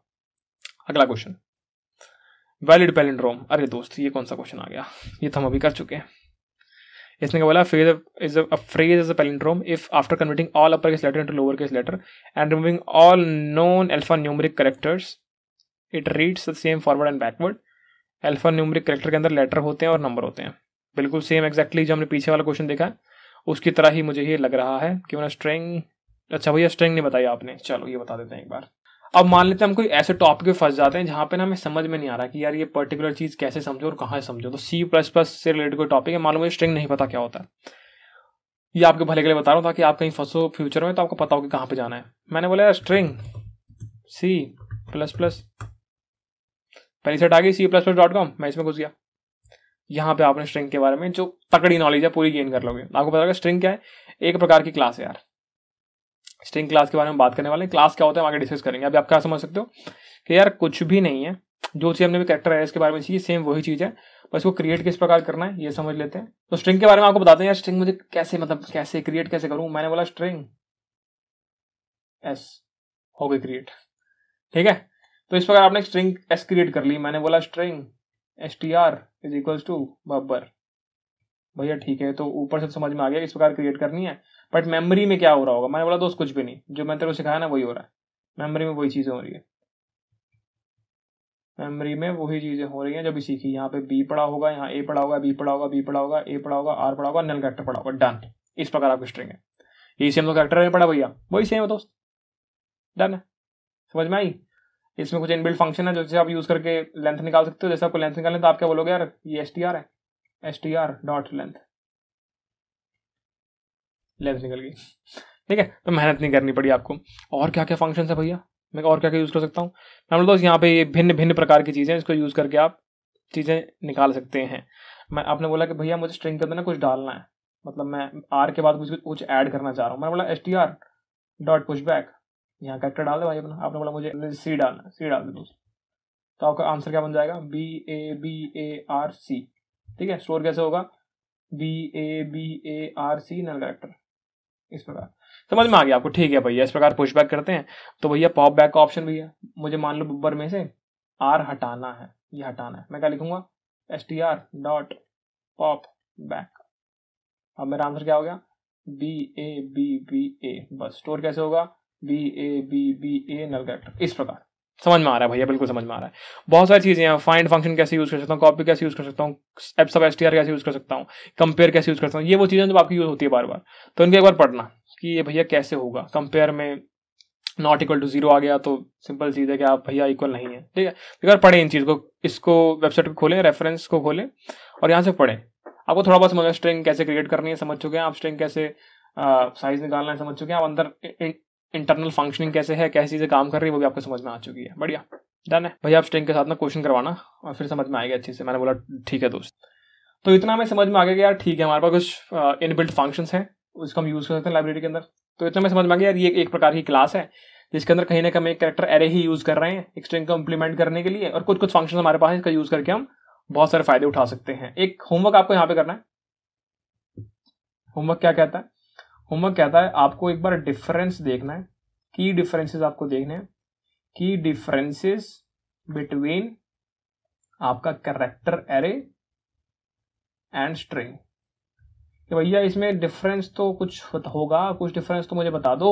वो आपको होमवर्क में करना है। को देखना है कि यार कैरेक्टर एरे में और स्ट्रिंग में क्या डिफरेंसेस है। किस प्रकार ये अलग है। एक एग्ज़ाम्पल मैं अगर आपको दूँ, अगर मैं बोलूँ कि आपका एक करेक्टर एरे है, अगर आपका एक करेक्टर एरे है, ये मैं मान लो आपका करेक्टर एरे है। इसके अंदर अगर आपका मान लो ए आ गया बी आ गया, फिर एक नल करेक्टर आ गया, फिर सी आ गया, फिर डी आ गया, और आप सी आउट कर रहे हो तो एक बार आउटपुट देखना क्या आ रहा है, ठीक है?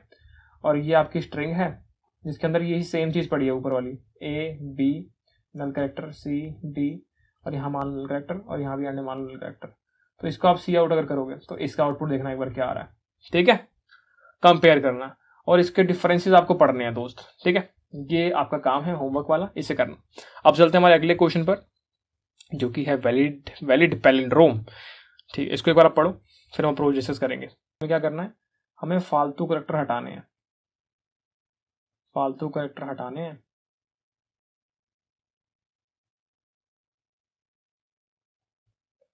सेकंड चीज़ क्या करनी है? सब लोअर केस में होना चाहिए। ठीक है? ये चीज़ करनी है, और फिर क्या करना है? फिर बस पैराड्रोम चेक करना है। ये हमारी एल्गोरिथम हो गई। हमारे दिमाग में क्या ऐसा तो कुछ और मुझे करना है। मान लेते हैं कि एक, दो, तीन, चार, पाँच छः सात, आठ। एक आई मेरा यहाँ से स्टार्ट है। जैसे ही मैं, और मैं अपना लूप चलाऊँगा, जो कि यहाँ से लेके यहाँ तक जाने वाला है। जैसे ही मुझे कोई वैलिड करेक्टर मिलेगा, जैसे ही मुझे कोई वैलिड करेक्टर मिल जाएगा वैलिड करेक्टर क्या होगा?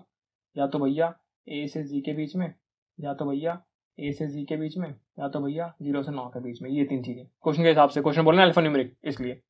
तो अगर इन तीनों से कुछ भी होता है तो सिंपल सी चीज़ है भाई मैं उसको स्वैप करवा दूँगा। मैं उसको स्वैप करवा दूँगा किसके साथ? आई वाली वैल्यू के साथ। और मान लो ये लूज है जे के साथ चल रहा है। मतलब वही समझ गया आई की वैल्यू के साथ और जे की वैल्यू के साथ। डन है आपने स्वैप करा दिया, फिर मैं आई को आगे बढ़ा दूँगा, क्योंकि ये वाली तो वैलिड वैल्यू डाल चुके ना आप तो आई आगे बढ़ जाएगा। डन है तो आपने एक एल्गोरिथम बना लिया अगर valid if valid character then swap then increment I done है डन है फिर एक ऐसी पोजीशन आएँगी जब ये लूप खत्म हो चुका होगा और आई कहीं पर होगा तो आप वहाँ पर जाके बस नया करेक्टर डाल देना, ठीक है? यानी कि आपको लूप खत्म हो गया। मैं देखता हूँ कोड में आपको दिखाऊँगा, अच्छे समझ में आएगा। तो हमें लॉजिक कहीं कहीं समझ में आया, हमें समझ में आ रहा है कि तीन चीज़ें हमारे पास है यार। पहले फालतू करेक्टर हटाने हैं, फिर सब लोअर केस में करना है और फिर पैरेंट चेक करना है। ठीक है? ये चीज़ मैं समझ में आ चुकी है। तो स्टेप बाय स्टेप चलते हैं एक बार। मैंने क्या बोला? मैंने बोला कि दोस्त, कुछ नहीं, स्टार्ट करो। फालतू करेक्टर हटा दो, इतना कर दो पहले। ठीक है? फालतू कैरेक्टर हटाना है, फालतू में क्या आता है आपका? अल्फ़ा न्यूमरिक कैरेक्टर यानी अगर मैं ध्यान से आपको समझाऊं तो ये वाला पार्ट जो हमने यहाँ पर डिस्कस किया अभी, इसको छोड़कर जो भी होगा, फालतू होगा। तो मैंने यहाँ पर एक फ़ंक्शन बना लिया पहले, जो मुझे दर्शाएगा इन चीज़ों के बारे में।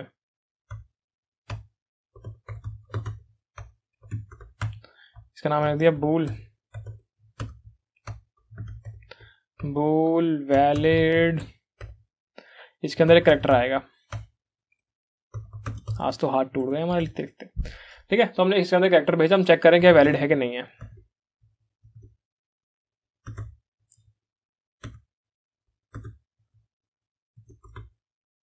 इसके अंदर अगर आपका सी एच जो है वो greater than equal to A है एंड एंड सी एच जो है वो less than equal to G है तो तो भैया वैलिड करेक्टर है। ठीक है? कॉपी मारते हैं पेस्ट मारते हैं पेस्ट मारते हैं। इसको मैंने कर दिया। अगर वो बड़े से बड़े जेड के बीच में, तब भी वैलिड करेक्टर है। और अगर वो ज़ीरो से नौ के बीच में, तब भी वैलिड करेक्टर है। बहुत बढ़िया। इस केस में रिटर्न वन वैलिड है भाई। एल्स में क्या करना? रिटर्न ज़ीरो कर देना। बहुत बढ़िया। तो फालतू करेक्टर हटाने हैं। तो हमने क्या बोला कि एक ना आई स्टार्ट कर देता हूँ ज़ीरो तक ज़ीरो से, और एक नई स्ट्रिंग बना लेता हूँ।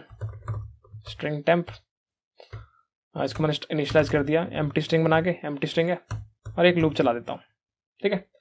लॉजिक आपने समझ लिया कि मैं क्या करने वाला हूँ। लूप चलेगा जे इज़ टू ज़ीरो से लेके लेंथ मुझे पता है, निकालनी आ चुकी है J less than S dot length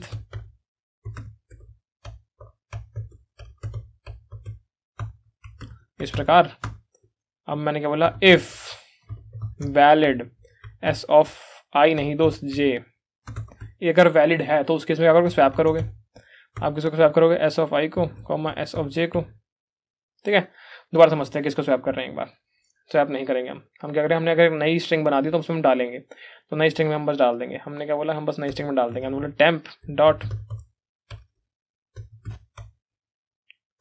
push back temp में क्या डालोगे आप?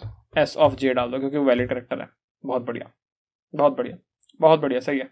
सही जा रहा है। क्योंकि वो एक वैलिड करेक्टर है। अब हमने पुश बैक वाली फंक्शनलिटी यूज़ कर लिया तो मैं आई वाली नीड नहीं है इसकी कुछ यार अभी तो। अभी तो नहीं है एटलीस्ट तो इस प्रकार आपने यहाँ पे अपनी एक टेम्प स्ट्रिंग बना ली है, जिसके अंदर सारे फालतू के करेक्टर हट चुके हैं। बहुत बढ़िया। अब मैंने क्या बोला, इसमें से ना लोअर केस में कर दो। लोअर केस में कर दो सबको। मैंने बोला, ठीक है भाई लोअर केस में कर देते हैं। हमने फ़ंक्शन ऑलरेडी लिखा हुआ है शायद। हमने फ़ंक्शन ऑलरेडी लिखा हुआ है। ये रहा लोअर केस में करने वाला फ़ंक्शन इसमें हमने एक चीज़ मिस कर रखी है यार, उसको सही कर लेते हैं पहले।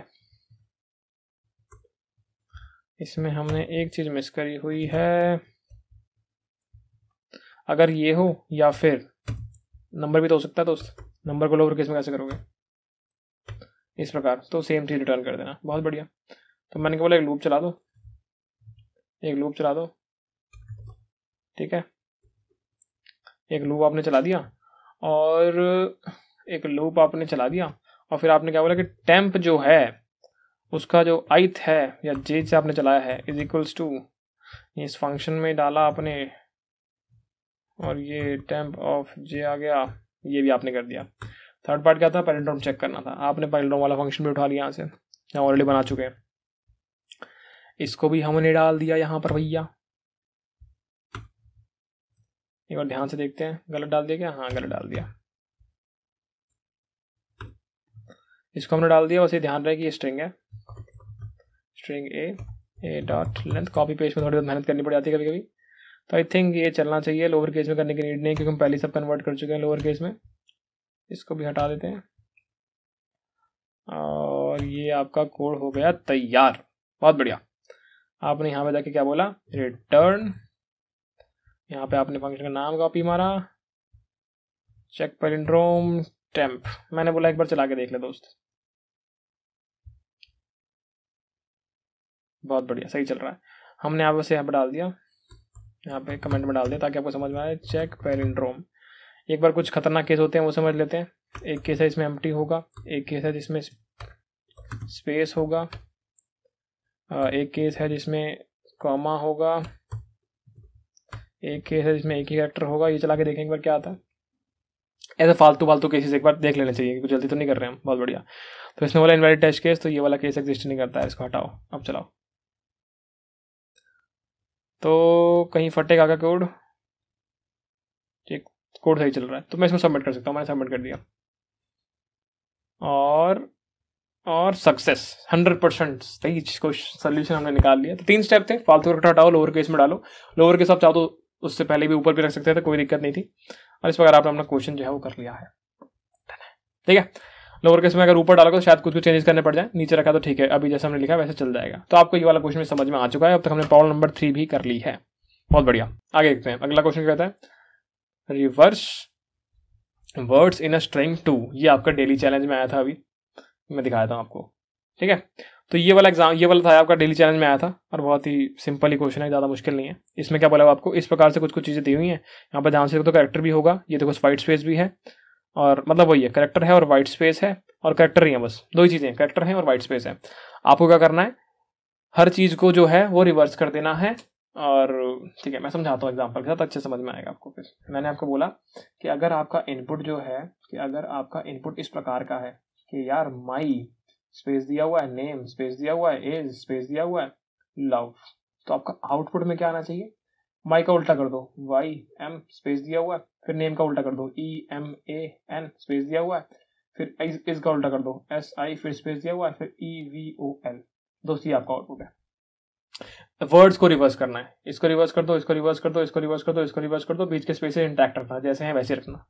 स्पेसिस को इग्नोर करें और वर्ड्स को रिवर्स करें। क्या ये क्वेश्चन आप खुद कर सकते हैं? ध्यान समझ के देखते हैं एक बार, क्या करना होगा? अप्रोच बताया हूँ आपको एक बार। अप्रोच क्या कहती है कि यार मैं ना बस नंबर बनाता जाऊँगा। मतलब मैं मैं ना बस स्ट्रिंग बनाता जाऊँगा। एक स्ट्रिंग में क्रिएट करता जाऊँगा करेक्टर को उठा के। करता जाऊँगा। कैरेक्टर को उठा के। या फिर, ठीक है कैरेक्टर कह रहे हैं कैरेक्टर को उठा के। आपने क्रिएट कर ली। जैसे ही मुझे स्पेस मिलेगा, जैसे ही मुझे स्पेस मिलेगा, उस केस में क्या करूँगा, समझ लें। मुझे जैसे ही स्पेस मिला, यानी मेरा एक वर्ड कंप्लीट हो चुका है, बहुत बढ़िया। अब मेरा एक वर्ड कंप्लीट हो चुका है तो जो वर्ड मैंने क्रिएट किया हुआ है, या फिर यहाँ स्ट्रिंग की जगह वर्ड लिख देता हूँ, उस वर्ड को रिवर्स कर दूँगा। रिवर्स कर दिया वर्ड को। बहुत बढ़िया। ठीक है? तो दोबारा समझते हैं, जैसे मुझे स्पेस मिलेगा, जैसे मुझे स्पेस मिलेगा, आपने वर्ड को रिवर्स कर दिया। बहुत बढ़िया। एक केस ऐसा आएगा जब स्पेस आपको नहीं मिलेगा बट वर्ड कंप्लीट हो चुका है लास्ट वाला केस ये लव है, अब आगे स्पेस नहीं है। अब क्या करोगे? आगे नल करेक्टर तो है तो उसे तो पता है। तो यहाँ पे एक और केस लिख लो। यहाँ पे क्या केस लिखा? कि जैसे ही मुझे नल करेक्टर मिला जैसे ही मुझे नल करेक्टर मिला दो फिर से रिवर्स कर दूँगा वर्ड ठीक है? स्पेस को कैसे हैंडल करना है, ये आपको दिमाग लगाना सब मैं बता दूँगा तो आपको मैथड ही आएगा। इस क्वेश्चन खुद सॉल्व करने का ट्राई करना। दिखने में लग रहा है भाई मीडियम लिखा हुआ बट ये क्वेश्चन जो है, हमारे वो जो क्वेश्चन रिसेंटली अभी किया, उससे आसानी क्वेश्चन है। ठीक है? तो ये क्वेश्चन आपको करना है रिवर्स वर्ड इन्वेस्टिंग और मज़ा आ जाएगा सॉल्व करने के बाद। डेली चैलेंज का भी मैंने परसों रात को सॉल्व किया हुआ शायद। हाँ। किया था यार, झूठ बोल रहा है। मैंने किया था, मैंने किया था भाई, सही में किया था मैंने। तो अब चलते हैं हमारे अगले क्वेश्चन की तरफ़, जो कि return maximum occurring character in an input string तो ये वाला क्वेश्चन जो मैंने आपको दिया अभी ये वाला क्वेश्चन आपको होमवर्क में करना है यार। ठीक है? अब चलते हैं अगले क्वेश्चन में ये कहता है? Return maximum occurring character in an input string यानी एक स्ट्रिंग आपको दी हुई है, उसमें कुछ कुछ करेक्टर दिए हुए हैं। एक स्ट्रिंग में आपको कुछ कुछ करेक्टर दिए हुए हैं। जैसे कि यहाँ पे टेस्ट दिया हुआ है। तो आपने क्या बोला? टी कितनी बार आया? दो बार। ई कितनी बार आया? एक बार। एस कितनी बार आया? एक बार। गिन लिया? आपने बोला कि मैक्सिमम कौन सा है? मैक्सिमम भैया टी है। ये आपने आंसर डाल के स्टोर करा दिया। खत्म। इतना। कौन सा करेक्टर मैक्सिमम बार आया है? कौन से करेक्टर का काउंट सबसे ज़्यादा है? वो स्टोर करके बता देना बस। ठीक है? तो कोड करने के ट्राई करते हैं। बहुत आसान है। कुछ मुश्किल नहीं। पर भैया कोड करना कैसे है? वही तो समझाने आए हैं आपको। ठीक है? तो मैंने क्या बोला मैंने एक स्ट्रिंग बना ली होगी एस और मैंने जाके सीधा आपको बोल दिया होगा यार सीन एस ये आपकी स्ट्रिंग तैयार है। आपको बताना मैक्सिमम अकरिंग करेक्टर कौन सा है। मैंने बता दिया यहाँ पे ऐसे। मैंने बोला कैर गेट मैक्सी मैं अपने हिसाब गेट मैक्स अकरिंग कैरेक्टर इस प्रकार मैंने फ़ंक्शन बना दिया। इसमें मैंने स्ट्रिंग दे दिया। एस बहुत बढ़िया। ध्यान से देखते हैं, हमारे पास टोटल नंबर ऑफ़ करेक्टर्स कितने होते हैं, ठीक है? अल्फ़ाबेट कितने हैं हमारे पास? तो एक बार समझते हैं, एक बार कंस्टेंट पहले पढ़ लेते हैं। बहुत बढ़िया कंस्टेंट पढ़ लेते हैं एक बार। कंस्टेंट क्या कहते हैं? कि दोस्त स्ट्रिंग की लेंथ जो है वो सौ तक होगी। और एक बार क्वेश्चन ऊपर पढ़ लेते हैं। इसके अंदर सारे के सारे करेक्टर ही होने वाले हैं करेक्टर ही होने वाले हैं, ठीक है? तो मैंने बोला, यार, सारे के सारे अल्फ़ाबेट कितने होते हैं टोटल छब्बीस होते हैं। तो मुझे छब्बीस अल्फ़ाबेट स्टोर करवाने हैं। अब वो अल्फ़ाबेट आपको ध्यान से देखो। तो भैया, वो ए से जेड वाला भी हो सकता है, वो ए से जेड वाला भी हो सकता है। दोनों में से कुछ भी हो सकता है। मैंने बोला, कोई दिक्कत नहीं मैं दोनों को सेम चीज़ मानूँगा। मैं ए हो चाहे ए हो सेम चीज़ मानूँगा, बस प्लस कर दूँगा। ठीक है? अब समझते हैं। तो मैंने अगर एक एरे बना लिया हाँ छब्बीस का इन टाइप का। मैंने इन टाइप का एक एरे बना लिया छब्बीस का, छब्बीस साइज़ का, और उसमें मैंने काउंट स्टोर कराना शुरू कर दिया। क्या ये लॉजिकल लग रहा है? बढ़िया, ठीक है लॉजिकल तो लग रहा है, पर करेंगे कैसे? समझते हैं। क्या मैं ए को ज़ीरो मान सकता हूँ? क्या मैं बी को वन मान सकता हूँ? उसी प्रकार क्या मैं जेड को ट्वेंटी फाइव मान सकता हूँ? ठीक है भैया वन टू वन मैपिंग करवा दिया आपने, ठीक है। इसी को मैंने बड़ा वाला ए मान लिया, इसी को मैंने बड़ा वाला बी भी मान लिया इसी को मैंने बड़ा वाला जी भी मान लिया। बहुत बढ़िया। तो इसी को समझते हैं। अगर मेरे पास लोअर केस का करेक्टर आता है, अगर मेरे पास लोअर केस का करेक्टर आया तो मैं क्या करूँगा? उस करेक्टर में से छोटा ए माइनस करा दूँगा। तो यहाँ से मेरा नंबर निकल गया। इस नंबर को यूज़ करके मैं बोलूँगा कि यार ए आर आर ऑफ़ ये नंबर प्लस प्लस काउंट बढ़ा दिया आपने। अगर मेरे पास अपर केस में करेक्टर आता है तो मैं करूँगा माइनस कर दिया बड़े वाले ए से। मेरा फिर दोबारा एक नंबर आ गया। मैंने फिर दोबारा बोला कि यार A R R of number plus plus समझ गए? ना? ये गेम थी बस। करना कैसे है? एक मिनट में करके दिखा देते हैं आपको। कोई दिक्कत नहीं है। आपने क्या बोला कि मैंने ना एक एरे बना लिया? कितने साइज़ का? छब्बीस साइज़ का। बहुत बढ़िया। इनिशलाइज कर रखा है मैंने इसको ज़ीरो के साथ। बढ़िया। मैंने बोला कि यार मैं ना स्ट्रिंग को ट्रैवर्स कर लेता हूँ। Int I is equal to zero I less than S dot length I plus plus इस प्रकार मैंने इसको फोर लूप को लिख लिया अच्छे ढंग से।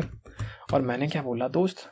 करेक्टर क्या होगा? Character C H is equals to S of I आपको समझने के लिए लिख रहा हूँ, कोई नीड नहीं है सिंपल एस ऑफ़ आई भी यूज़ कर सकते थे। इसे मैंने करेक्टर में स्टोर कर लिया इसको। अब मैंने क्या बोला कि दोस्त, कुछ भी नहीं है। If C H is less than equal to A and and C H sorry इसमें ग्रेटर देन इक्वल टू आएगा। Is less than equal to G तो ये कर दो। अगर ये नहीं होगा तो कॉमन सेंस अपर केस में होगा।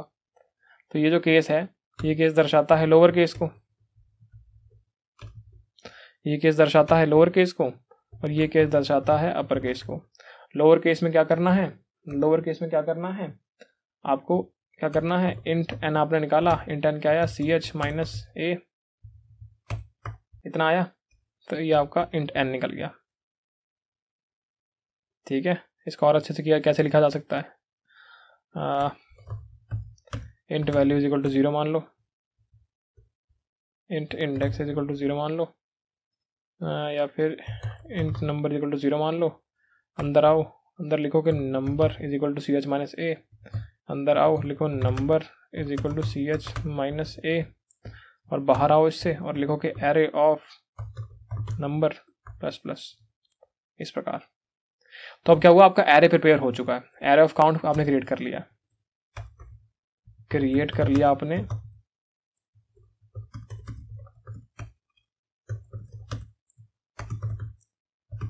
बहुत बढ़िया। ये आपने क्रिएट कर लिया। ठीक है? मैंने बोला कि यार, देखो सिंपल सी चीज़ है। अपना, बस ना ये लेके चलो। अपना सिर्फ़ एक और ट्रैवर्स कर लो। टू पास हो जाएगा। I zero I less than S dot length I plus plus अपना एक मैक्स बना लो.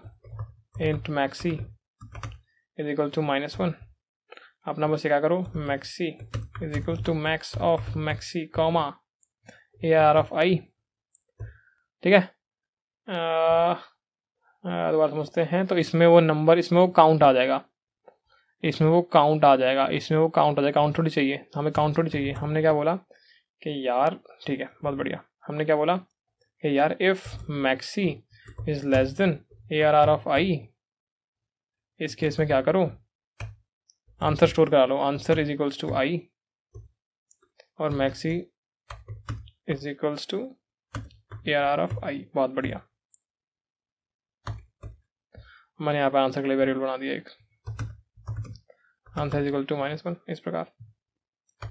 ज़ीरो कर दिया। कुछ भी लिख दिया मतलब कुछ फ़र्क नहीं पड़ता उससे यार, क्योंकि आंसर तो अपडेट करने वाले हैं ही हैं। ठीक है?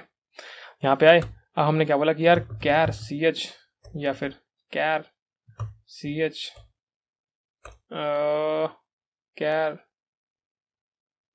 final answer final answer क्या होगा? छोटा ए प्लस कर दिया आपने आंसर को। आपने इसको रिटर्न कर दिया। बहुत बढ़िया। एक बार चला के देख लेते हैं, फिर आपको समझाते हैं अच्छे से। मैंने बोला इसको रन कर दो।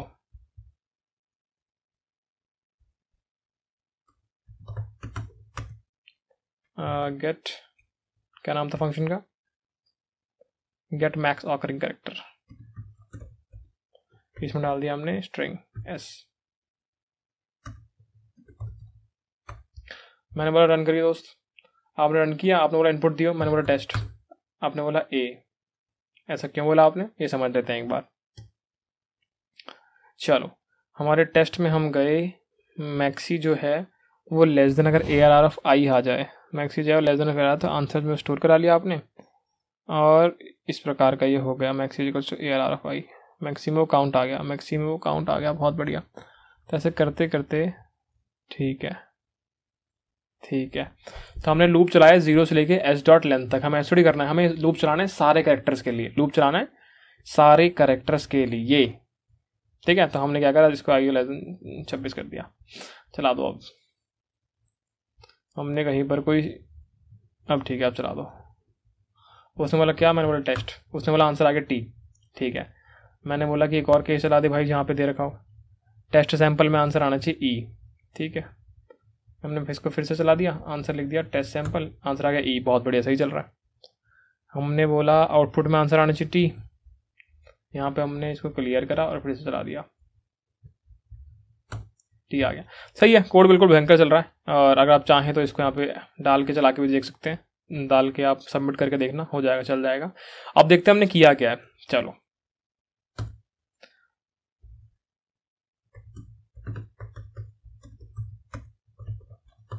चलो।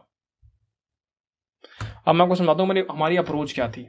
ठीक है, समझाते हैं आपको एक बार। आई थिंक यहाँ पे हमें ना ये डबल सोचने की नीड थी ही नहीं क्योंकि हमारा करेक्टर सिर्फ़ सिंगल वहाँ पे लोअर केस में होने वाले थे। आ, हमने फालतू में वो यहाँ पे चेक लगा दिया है। ठीक है? कंस्टेंट में दिया नहीं हुआ बट लॉजिकल लग रहा है मुझे क्योंकि आंसर आपको जब स्टोर आंसर आपको देना है तो आपको उस टाइम पे पता होना चाहिए। या फिर या तो हम इसको डिफरेंट डिफरेंट करेक्टर मान के चलें। ठीक है? तो हमें ये चीज़ समझ में आ रही है। अभी हम मान लेते हैं कि हमारा जो कोड है ना, उसमें सिर्फ़ लोअर केस ही इनपुट में स्ट्रिंग आने वाला जो भी स्ट्रिंग होगी इनपुट में, वो सिर्फ़ लोअर केस के लिए होने वाली है। तो हम इसको इस प्रकार ऑप्टिमाइज कर लेते हैं कि भाई ये हटा दें और ये डाल दें। ठीक है, एक बार दोबारा चला लेते हैं यार। कुछ गलती ना हो गई हो। ठीक है। अब देखते हमने किया क्या। हमने सबसे पहले क्या बोला यार? कि एक ना एरे बना लेते हैं। एक एरे बना लेते हैं। एक एरे हमने बना लिया। जिसका इंडेक्स होगा ज़ीरो से लेके ज़ीरो वन टू से लेके ट्वेंटी फाइव तक है। और ज़ीरो वन टू क्या दर्शा रहा है? ये दर्शा रहा है A B C D G तक। ओके, ज़ीरो मैप है ए के साथ, वन मैप है बी के साथ, टू मैप है इसके साथ, ऐसे ही जेड मैप है ट्वेंटी फाइव के साथ, ठीक है। और यहाँ वैल्यू जो होगी वो क्या दर्शा रही है? यहाँ जो वैल्यू पड़ी है वो दर्शा रही है count. Count of that character in string. यानी स्ट्रिंग में, जो स्ट्रिंग हमें इनपुट में मिली है, उसमें ये पर्टिकुलर करेक्टर कितनी बार है? स्टार्टिंग में सबको ज़ीरो ज़ीरो होने वाला है। स्टार्टिंग में सब ज़ीरो है। हमने फिर क्या किया? हमने यहाँ पर ये चलाया। इसमें, इस लूप में क्या हम कर रहे हैं? जैसे मान लेते हैं हमारा जो है इनपुट है आउटपुट तो हमने क्या किया? ज़ीरो कहाँ पे है? मतलब हमने क्या किया? ओ कहाँ पर है? तो ओ वाले ब्लॉक के अंदर जाके प्लस प्लस कर दो। पहले वो ज़ीरो था, उसको वन कर दो। ओ के लिए। हम यू कहाँ पे है? अरे यू यहाँ पे है। तो ऐसा करो यू में जो है, पहले ज़ीरो पड़ा, उसको इंक्रीमेंट कर दो वन कर दो। टी कहाँ है? तो मैंने बोला टी मान लो यहाँ पे है कहीं पे तो टी को बंद कर दो। ये पी कहाँ है? ऐसे आपने कहा टी दोबारा मिला। टी पहले, दोबारा मिल गया तो पहले वन था अभी टू हो गया। इस प्रकार आपने हर ब्लॉक पे एक काउंट स्टोर कर लिया, और ब्लॉक के कैसे मैपिंग है, वो आपको पता है। ज़ीरो वन से वन बी से टू सी से, इस प्रकार मैप्ड है। ठीक है? तो आपके पास अब सारे करेक्टर्स का काउंट है कि ए कितनी बार था बी कितनी बार था सी कितनी बार था डी कितनी बार था। ये काउंट आपके पास आ गया। ठीक है? अब हमारे पास एक ऐसा एरे पड़ा हुआ है, जो हमें बता रहा है कि ए बी सी डी से लेकर जेड जेड कौन सा कितनी बार आया है? ये एक बार है, ये दो बार है, ये तीन बार है, या फिर ये भी दो बार है, या फिर ये ज़ीरो बार है? इस प्रकार। अब क्या मैं इसमें से मैक्सिमम नंबर निकाल सकता हूँ? बहुत आसान है। मैंने बोला कि यार, यहाँ पे एक वेरिएबल है। ये है हमारा एफ़ और ये तीन बार आ रहा है। मुझे पता लग गया कि मैक्सिमम है। तो जैसे ही मैं मैक्सिमम नंबर निकालता हूँ, देखो यहाँ पे, जैसे ही मैक्सिमम नंबर निकालता हूँ, मैं वहीं पे आंसर स्टोर कर लेता हूँ। आंसर में क्या कर रहा हूँ? इंडेक्स स्टोर कर रहा हूँ। तो मैंने क्या किया? यहाँ पे इंडेक्स में फाइव लिखा हुआ है। मैंने फाइव स्टोर कर लिया आंसर के अंदर। आंसर फाइव स्टोर कर लिया। और मुझे क्या पता? कुछ भी नहीं है। मुझे इंटीरियर से अपने एरे बनाने। सिंपल सी चीज़ यार। इसमें ए प्लस कर दे दोस्त। यहाँ मेरा एफ़ निकल गया ठीक है? मतलब ये फाइव से नहीं आएगा पर ठीक है। समझ में आपको आगे किस तरह हम चल रहे हैं। ठीक है? तो इस प्रकार है। पहले हमने सारे काउंट निकाल लिए, फिर हमने मैक्सिमम वाला इंडेक्स फाइंड आउट कर लिया। और मैपिंग में पता है सिंपल उसमें ए प्लस करके फाइनल आंसर बना के हमने भेज दिया चलो यार, हो गया हमारा काम ठीक है? ये ऐसा करने की नीड नहीं है यार। मैं आपके समझाने के लिए करता हूँ। अगर आप चाहो सीधे इसको ऐसे उठा के ऐसे लिख सकते हो। ठीक है? कोड तब भी चल जाएगा। कोई ऐसी दिक्कत नहीं आएगी।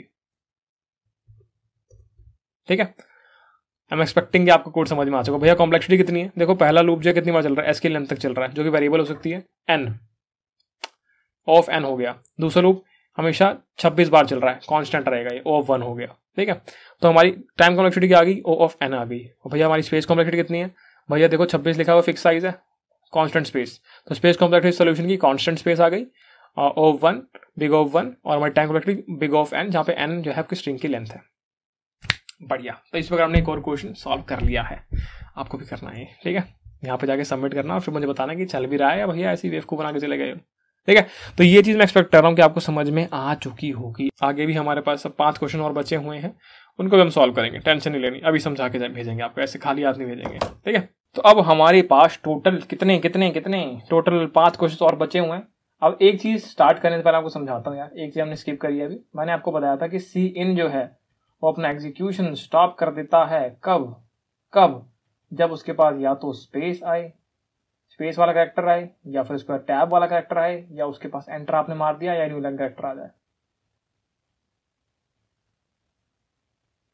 ठीक है? इन तीनों केसेस के अंदर। भैया, अगर मुझे स्पेस वाला चाहिए मतलब मान लो कोई लाइन है जहाँ पर लिखा है कि माई नेम इज़ खान और मुझे पूरा का पूरा चाहिए यार तो मैं कैसे लूँगा?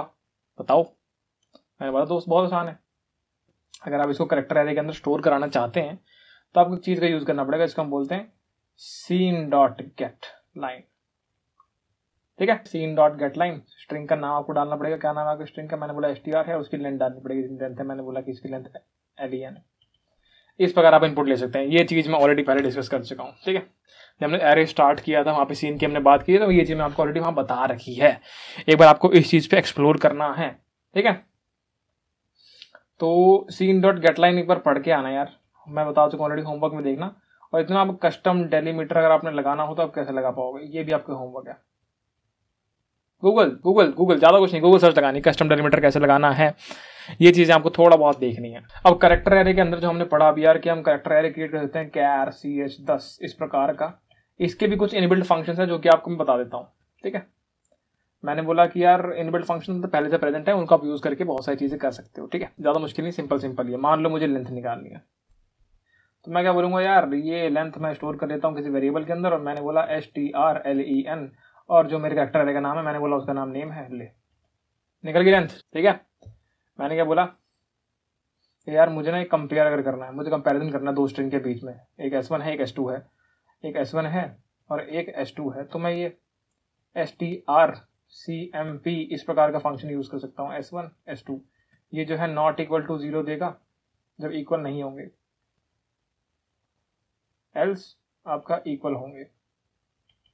समझ गए? तो इसमें आप स्ट्रिंग कंपैरिजन कर सकते हैं, बहुत ही आराम से, बहुत ही आराम से।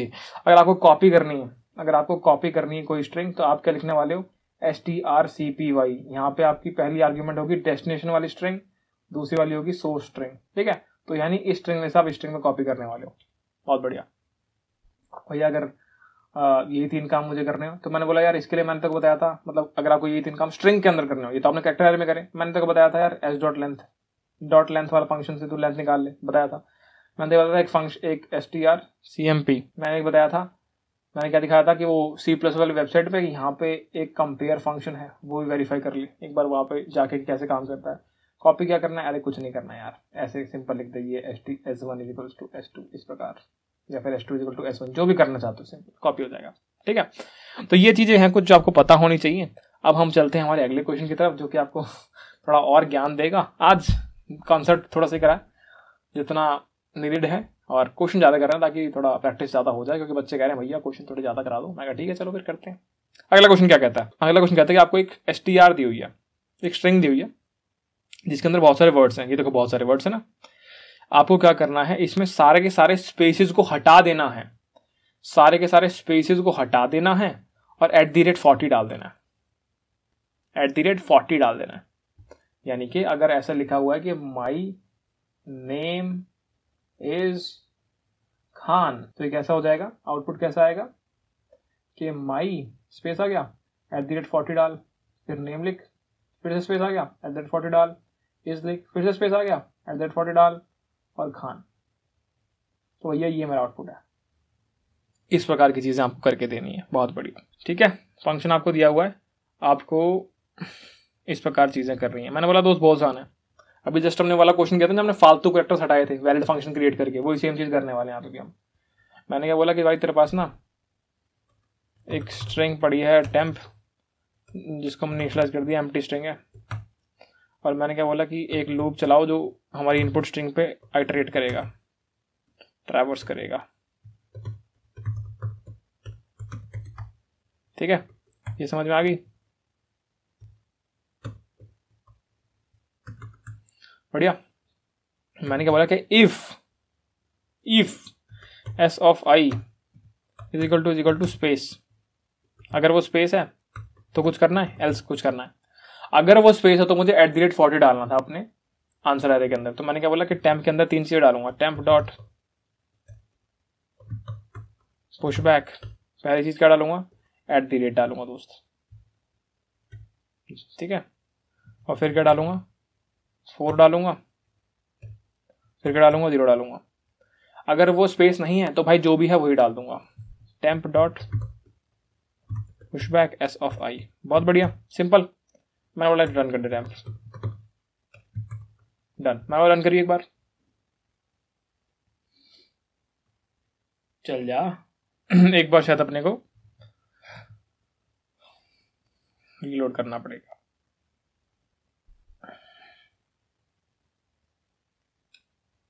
मैंने बोला, रन दे भाई। ये रन करने गया। और इसने हमें बोला कि, भैया, कुछ गड़बड़ है। हमने बोला, क्या गड़बड़ है दोस्त? उसने बोला कि, नाम तो देख लिया करो। मैंने बोला एस है क्या? ओ सॉरी अब चेक करना दोस्त। हमने चलाया चलाया चलाया, सब सही चल गया। मैंने बोला, सबमिट करो। सबमिट करा। और उसने बोला कि, आपका आंसर बोलो बोलो बोलो, सही है। तो इस प्रकार हमने वाला क्वेश्चन भी कर लिया, वो आसान क्वेश्चन था। होमवर्क में क्या दूँ आपको?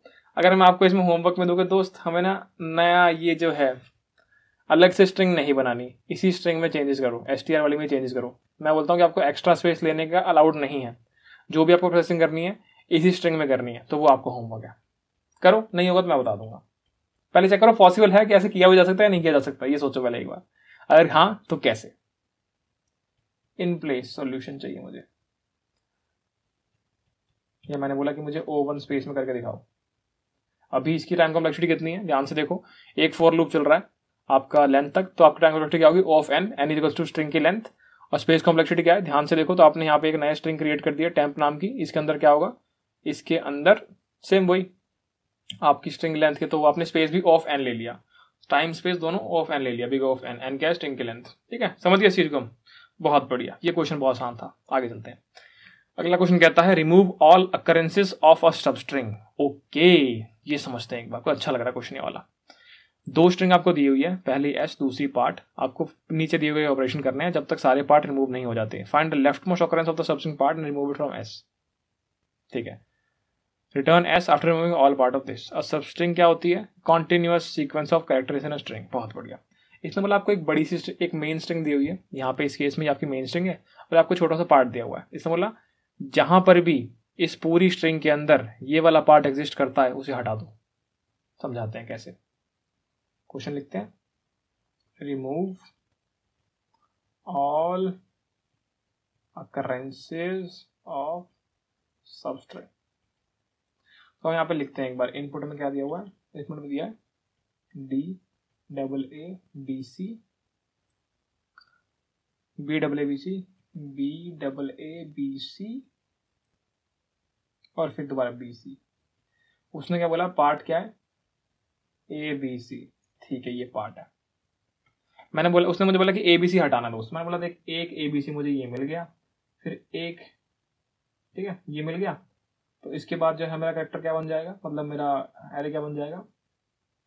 डी फिर ये वाला ए फिर ये वाला बी फिर ए फिर ए फिर बी सी फिर बी सी फिर अगला मैंने ढूंढा, अगला मुझे क्या मिलेगा यार? अगला मुझे ये मिल गया। अब मेरा क्या बन गया? D A B A B C अगला क्या मिल गया? मुझे क्या एक और ए बी सी मिल गया। तो मेरा आंसर क्या आ गया? डी ए बी ये मेरा फाइनल आंसर होना चाहिए यार। इस प्रकार हो रहा है। हमने पहले इसको रिमूव किया, फिर इसको रिमूव किया, फिर इसको रिमूव किया। ये मेरा आंसर है डी ए बी समझ गए? तो इस प्रकार से इस पर काम करना है। एक बार इसके कंस्टेंट्स पढ़ लेते हैं ताकि हमें अप्रोच सोचने सोचने में आसानी हो, ठीक है? चलो, बहुत बढ़िया। ये बोलता है स्ट्रिंग की लेंथ जो है वो थाउज़ेंड है। ये बोलता है कि स्ट्रिंग की लेंथ जो है वो थाउज़ेंड है और पार्ट की लेंथ जो है ये है।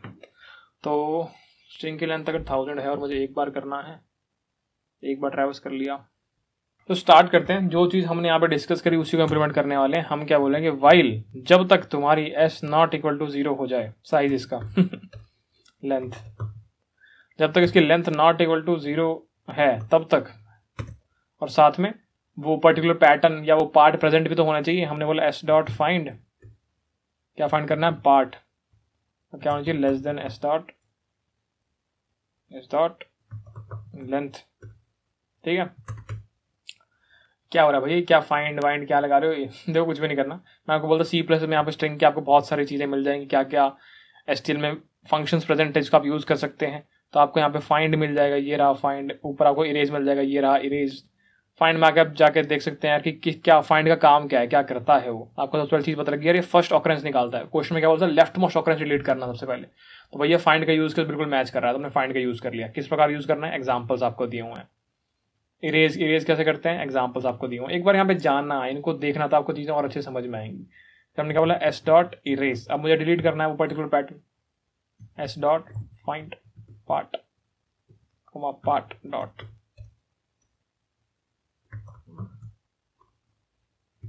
मैंने बोला ट्राई करना है रन करके। क्या होगा क्या होगा क्या होगा? एरर आएगा, और क्या होगा? क्योंकि आपने रिटर्न तो कुछ करा नहीं है। आप ट्राई करो। बढ़िया। तो देखो हमने क्या किया। हमने क्या बोला कि जब तक तुम्हारी स्ट्रिंग तुम डिलीट करोगे डेफिनेटली है ना?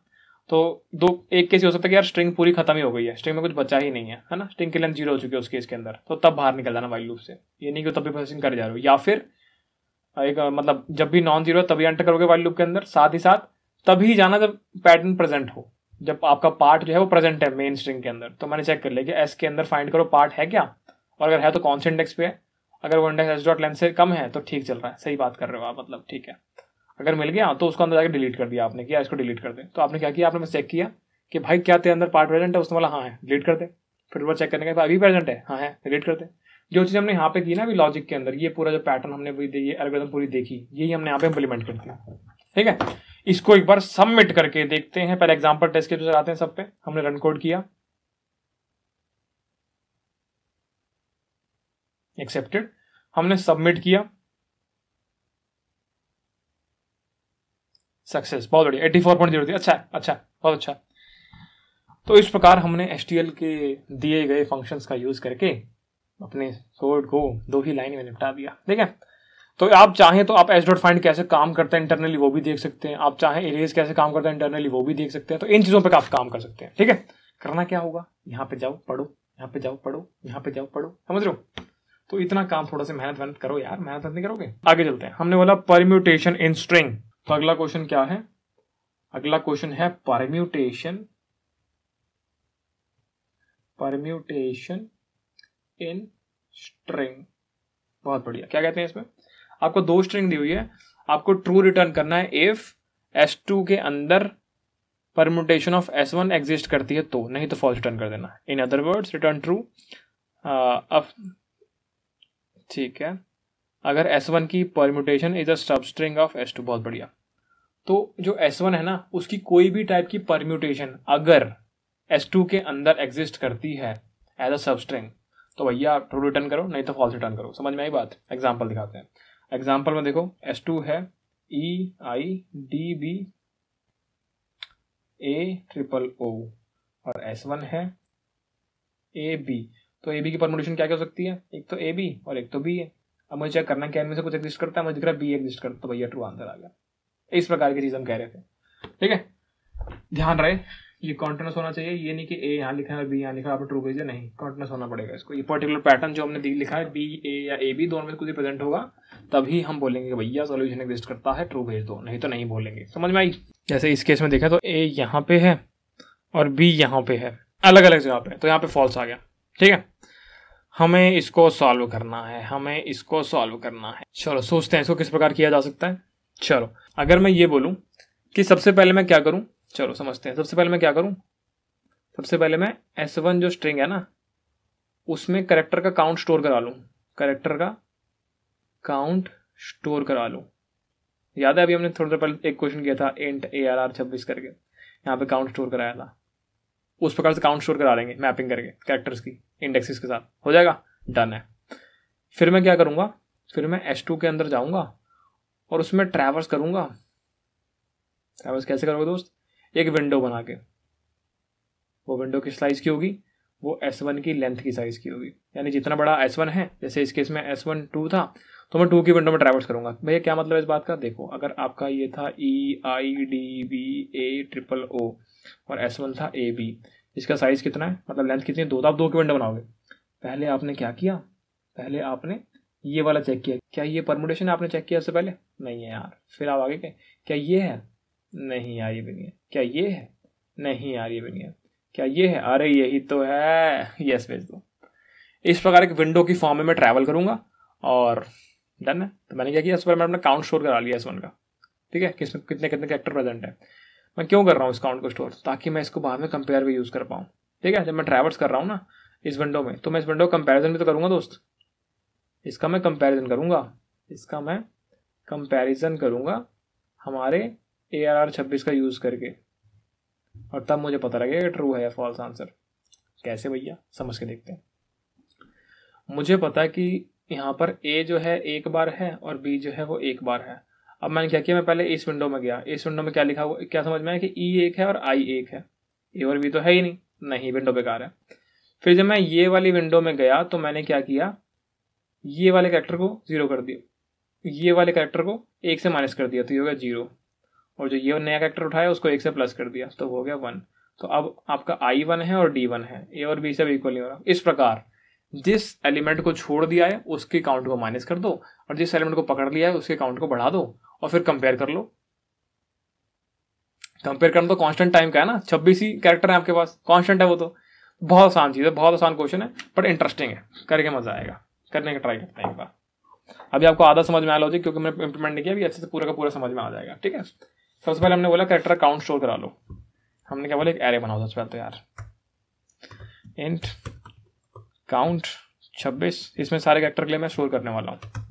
स्टार्टिंग में सब ज़ीरो है। ठीक है? अब मैंने बोला ट्रैवर्स कर ले दोस्त। Int I is equal to zero से आई लेस देन कहाँ पे? एस वन डॉट लेंथ इस केस में क्या करो? काउंट ऑफ़ क्या करना है? काउंट ऑफ़ क्या करना है? एस वन ऑफ़ आई अच्छा थोड़ा आसान करते हैं आपके लिए। Int index equal to S one of I minus of A इस प्रकार। और फिर मैं इसको इंडेक्स कर लेता हूँ और मैं इसको इंक्रीमेंट कर देता हूँ। बहुत बढ़िया। तो यहाँ मेरा काउ जो काउंट है ना, वो मैंने कर लिया। कैरेक्टर काउंट अरे आपने बना लिया ये वाला।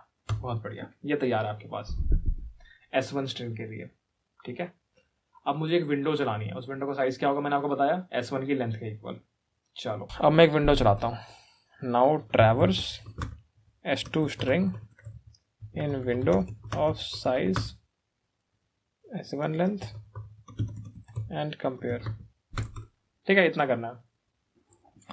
तो आपने सबसे पहले पहली विंडो चलाई। कैसे चलाएँगे? एक बार समझ लेते हैं। Int I is equals to zero ठीक है? और हमने क्या बोला? विंडो का साइज़ के मान लेते हैं। ऐसे लिख लेते हैं window window size is equals to क्या है? S one dot length S one dot length आपने क्या बोला? While I less than K I less than window size या पहली विंडो के लिए चला रहे हो बस अभी।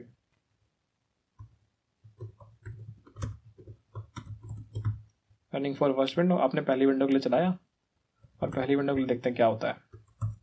आपने पहली विंडो के लिए चलाया, इस केस में आप क्या करोगे? आपने मान लो एक और काउंट प्रिपेयर कर लिया यहाँ पे।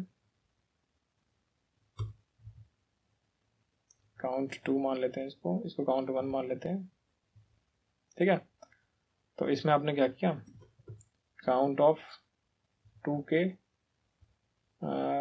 वन बहुत बढ़िया बहुत बढ़िया बहुत बढ़िया। ठीक है, समझ रहे हैं, समझ रहे हैं। काउंट टू सबसे पहले यहाँ मैंने इंडेक्स निकाल लिया। Int index is equal to क्या होगा? इंडेक्स इज़ इक्वल टू क्या होगा? आपका S two of I minus A बहुत बढ़िया। फिर मैं काउंट टू के इंडेक्स में प्लस प्लस कर दूँगा, बहुत बढ़िया। इतना हो गया। ये मैंने पहली विंडो चला दी। पहली विंडो मैंने चला दी। और ध्यान रहे कि हमारा आई भी प्लस प्लस करना है। पहली विंडो मैंने चला दी इस प्रकार। ठीक है? पहली विंडो मैंने चला दी। अब मैंने क्या किया? अब मैंने उसे एक बार चेक कर लिया। चेक इक्वल इसमें किसको इक्वल चेक करना है? काउंट वन को और काउंट टू को। ठीक है? इफ़ अगर ये ट्रू आ जाएगा दोस्त रिटर्न अगर ये ट्रू आ गया तो सिंपल भैया आंसर भेज दो वन ट्रू भेज दो। नहीं तो आगे के लिए प्रोसेस करो। आगे विंडो प्रोसेस करो। बहुत बढ़िया।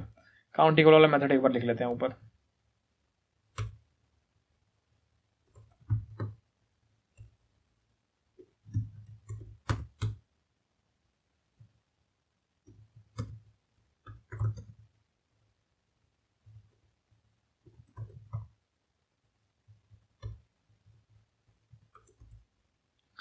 ठीक है? हमने बोला for int I equal to zero I less than छब्बीस आई प्लस प्लस इफ़ अगर कोई भी काउंटर लगो A of I is not equal to B of I दो रिटर्न ज़ीरो कर दे। नहीं तो रिटर्न वन कर दे। ठीक है? तो अगर ये दोनों एरेज आपस में इक्वल नहीं है तो भैया फॉल्स आ जाएगा, नहीं तो ट्रू आ जाएगा। बहुत बढ़िया। आगे की विंडो प्रोसेस कर दे अभी आपका जो काउंट आई जो है वो वहीं पर ही होगा। हमने क्या बोला? वाइल आई लेस देन किसके लेस देन किसके less than S two dot length तब तक लूप चलाओ। और आप क्या करोगे? सबसे पहले जब ये वाला केस होगा तो समझते हैं एक बार क्या हुआ होगा। अब आप एक नया एलिमेंट ऐड करने वाले हो अपने काउंट वाले एरे में, और जो पुराना वाला एलिमेंट है, उसको हटाने वाले हो। मान लेते हैं कि आपका के जो है, वो टू है, और आप फोर्थ इंडेक्स पे हो। चलो, इसको एक बार ऐसे देखते हैं। इस इंडेक्स की अगर हम बात करें तो यह है ज़ीरो ये है वन ये है टू अभी आप यहाँ पे आ गए। क्या करेंगे? इस डी को माइनस करेंगे ए से, और जो भी नंबर में स्टोर होगा, उसको हम क्या करेंगे? ए आर ऑफ़ एन को प्लस प्लस कर देंगे। बहुत बढ़िया। और जो इसके पीछे वाला है, ये इंडेक्स कौन सा होगा? ध्यान समझते हैं। जो भी करंट इंडेक्स है, उसके पीछे जाना है। कितनी बार? दो बार, जो कि के है तो आई माइनस के समझे? समझे भैया? तो आई माइनस के वाला करेक्टर निकाल लेंगे पहले। ऐसे करके। या फिर ऐसे करके। फिर उसके बाद सेम वही प्रोसेस रिपीट कर देंगे, भाई माइनस कर देंगे ए के साथ, और फिर वो वाली वैल्यू जो है, जो भी एन में स्टोर करिए उसको माइनस माइनस कर देंगे। कैसे करेंगे? समझाता हूँ आपको यहाँ पे, बहुत बढ़िया। समझ में आ जाएगा, वैसे टेंशन मतलब मुझे पता टेंशन हो रही है थोड़ी सी आपको। हम अभी यहाँ पे गए, हमने सेकंड वाली विंडो में क्या किया, जो पहला, जो नया एलिमेंट है जहाँ पे हम हैं, उसको हमें पहले में इंक्रीमेंट करना पड़ेगा। इसका मतलब क्या हुआ? समझते हैं एक बार, देखते हैं। जो नया एलिमेंट है वो क्या है? Char C H is equal to नया एलिमेंट क्या है? लिख देता हूँ एक बार मैं। न्यू कैर क्या बना? ध्यान से देखते हैं क्या बनेगा वो। एस टू का आईथ एलिमेंट है वो। बढ़िया। बहुत बढ़िया। मैंने बोला इंडेक्स क्या बनेगा? इंडेक्स बनेगा भैया न्यू कैर माइनस ए बहुत बढ़िया इंडेक्स आपने बना लिया। फिर आपने इस इंडेक्स को अपने काउंट वाले वेरिएबल में क्या कर दिया? इंक्रीमेंट कर दिया। क्योंकि नया वाला है विंडो के अंदर नया नया आया ये तो इसको आपने इंक्रीमेंट कर दिया। बट भैया जो निकला है विंडो से बाहर, जैसे इस केस में, इस केस में ये विंडो में नया ऐड हुआ है तो इसके लिए आपने इंक्रीमेंट कर दिया। बट ये वाला विंडो से बाहर निकला ना, क्योंकि पहले विंडो ये थी, अब विंडो ये है तो ये बाहर निकला है। तो इसको आपको इसके काउंट को डिक्रीमेंट करना पड़ेगा। तो आपने क्या बोला? यार char old char old character क्या है मेरे पास? S two of I minus K बहुत बढ़िया। के क्या है? के तो कुछ है नहीं विंडो साइज़ मतलब। ठीक है? और फिर आपने क्या बोला? यार index is equals to old char minus A index निकल गया। फिर आपने काउंट टू में ये वाला इंडेक्स जो है वो यह माइनस माइनस करा दिया। बहुत बढ़िया। इस प्रकार आपने ये वाला काम कर लिया। जब तक आप उससे कम है, बहुत बढ़िया। सही है। आपने इतना पार्ट कर लिया। अब आपने बस एक बार चेक कर लेना है। ये वाली चीज़ को। हमेशा एक बार चेक कर लेना है कि यार क्या पता इक्वल तो नहीं हो गए, क्या पता इक्वल तो नहीं हो गए। अगर आप बाहर आ गए, अभी भी कुछ नहीं कर पाए तो भैया इक्वल हो ही नहीं सकते ये। रन करके देखो एक बार।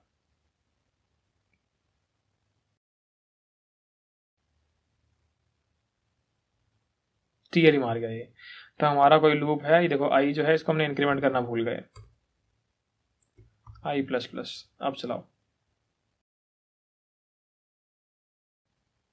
एक्सेप्ट हो गया? एक बार सारे टेस्ट के चला लेते हैं। रन करते हैं। चल गए?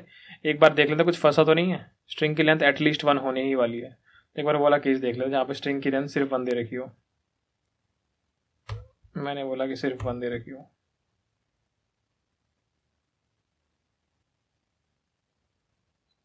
चलो दोस्त, बहुत धीरे चल रहे हो आज। मैंने बोला कोई ऐसा करेक्टर जो इसमें एग्जिस्ट ना करता हूँ।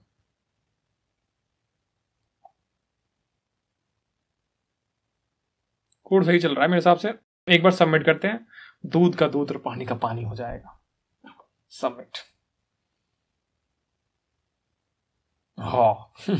रन टाइमर आ गया। कहीं पर हमने गलती कर दी है बहुत भयंकर लेवल की। चलो, देखते हैं। इंडेक्स निकाला S two of I S two of I running for first window S two of I minus A ठीक है। और इसको आपने माइनस करा ए के साथ। इंडेक्स निकल गया इस प्रकार। एस टू ऑफ़ आई ठीक है। आई ज़ीरो से स्टार्ट किया था हमने। Less than window size I plus plus कर दिया। बहुत बढ़िया। क्वेश्चन समझते हैं, कुछ गलती करी क्या? हमें नहीं पता। ठीक है।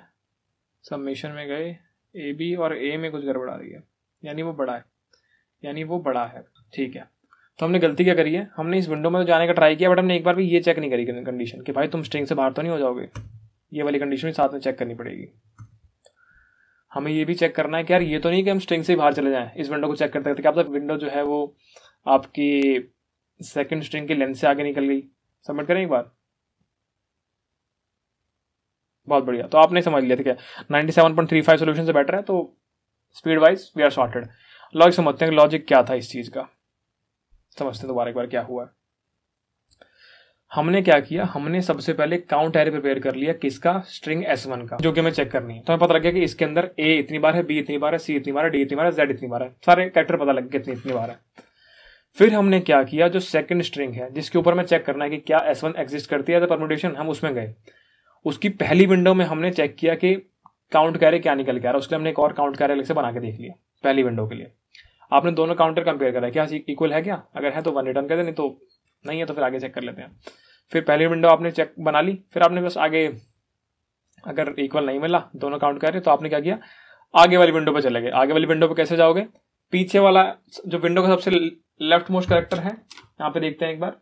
जो विंडो का सबसे लेफ़्ट मोस्ट करेक्टर है, उसको हटाएँगे और एक जो विंडो का नया वाला करेक्टर है, उसको ऐड कर लेंगे। समझे बात? पहले विंडो ये थी, एक नया, पहले विंडो ये थी, एक नया करेक्टर ऐड किया, नई विंडो ये हो गई, पुराना करेक्टर हटा दिया। इस प्रकार आप चल रहे हैं।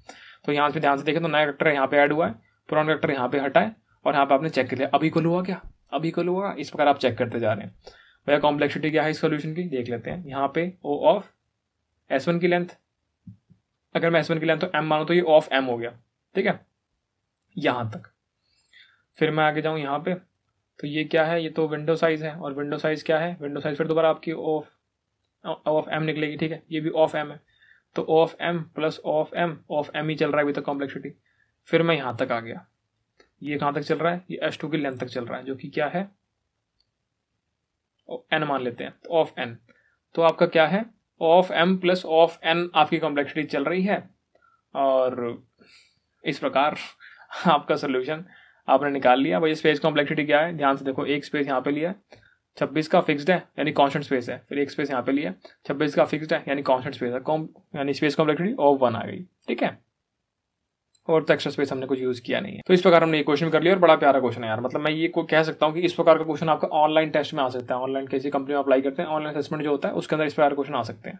बड़े प्यार से। अगले क्वेश्चन की तरफ़ बढ़ते हैं। अगला क्वेश्चन क्या है? Remove all adjacent duplicate in a string ठीक है। क्या कहता है क्वेश्चन ये? चलते हैं, लिखते हैं इसके बारे में, क्या चीज़ है ये? रिमूव एडजेसेंट डुप्लीकेट्स चलो। देखो, यहाँ पे बी और बी सेम करेक्टर है। समझते हैं आपको, मैं दिखाता हूँ। इनपुट में आपको क्या दिया हुआ है? ए बी बी ए सी ए उसने बोला, जहाँ पे डुप्लीकेट करेक्टर दिखा रिमूव कर दो। तो मुझे क्या दिख रहा है सबसे पहले? मुझे क्या दिख रहा है कि भाई, ये देखो डुप्लीकेट मैंने इनको रिमूव कर दिया। अब मेरी स्ट्रिंग क्या बन गई? ए ये तो हट जाएगा। ए सी ए इतना बार हट जाएगा अब मुझे क्या दिख रहा है? भाई, फिर से डुप्लीकेट आ गया। मैंने बोला, कोई बात नहीं, दोस्त, इसको भी हटा दो। अब क्या बचा? सी और गया। ये मेरा आंसर है यार। ठीक है? सी ए दिख रहा होगा आपको यहाँ पे। यहाँ पे ए जेड एक्स यहाँ पे अगला अगला इनपुट क्या है हमारे पास? A G X X G Y मुझे क्या दिखा कि भैया, देखो सेम हटा दो। तो अब आपका आंसर क्या हो जाएगा? ए जी जी वाई मुझे क्या दिखा? अरे वाई फिर से सेम आ गया। ठीक है, अब क्या आंसर हो गया? ए वाई अरे दो सही तो आंसर है। इस प्रकार गेम खेलनी है। ठीक है, इस प्रकार की गेम हमें यहाँ पर खेलनी है। एस की लेंथ जो है वो टेन की पावर फाइव तक एग्जिस्ट कर सकती है। ठीक है तो ये आपको थोड़ा बहुत समझ में आया क्वेश्चन क्या कह रहा है। और अभी तक हमने सारे क्वेश्चन सॉल्व कर दिए या फिर आपको एल को बता दी सॉल्व करने के लिए। तो ये क्वेश्चन बिल्कुल स्क्रैच से आपको ही सॉल्व करना है। इजी लेवल क्वेश्चन है, ऊपर इजी लिखा हुआ। तो ये आपके लिए एज अ होमवर्क जा रहा है। इसको आपको खुद सॉल्व करना है, नहीं होगा तो हम करवा देंगे, नहीं तो डिस्कोड जिंदाबाद। ठीक है तो ये वाला क्वेश्चन आपको खुद करना है। अब पढ़ते हैं हमारे अगले क्वेश्चन की तरफ़। तो एक दिक्कत हुई है। इसके आगे का सारा का सारा पार्ट वीडियो वाला मैं शूट कर चुका हूँ। बट मेरा लैपटॉप रिकॉर्डिंग नहीं हो पाई। तो मुझे दोबारा शूट करना पड़ रहा है। एक बार और करना पड़ेगा। ठीक है?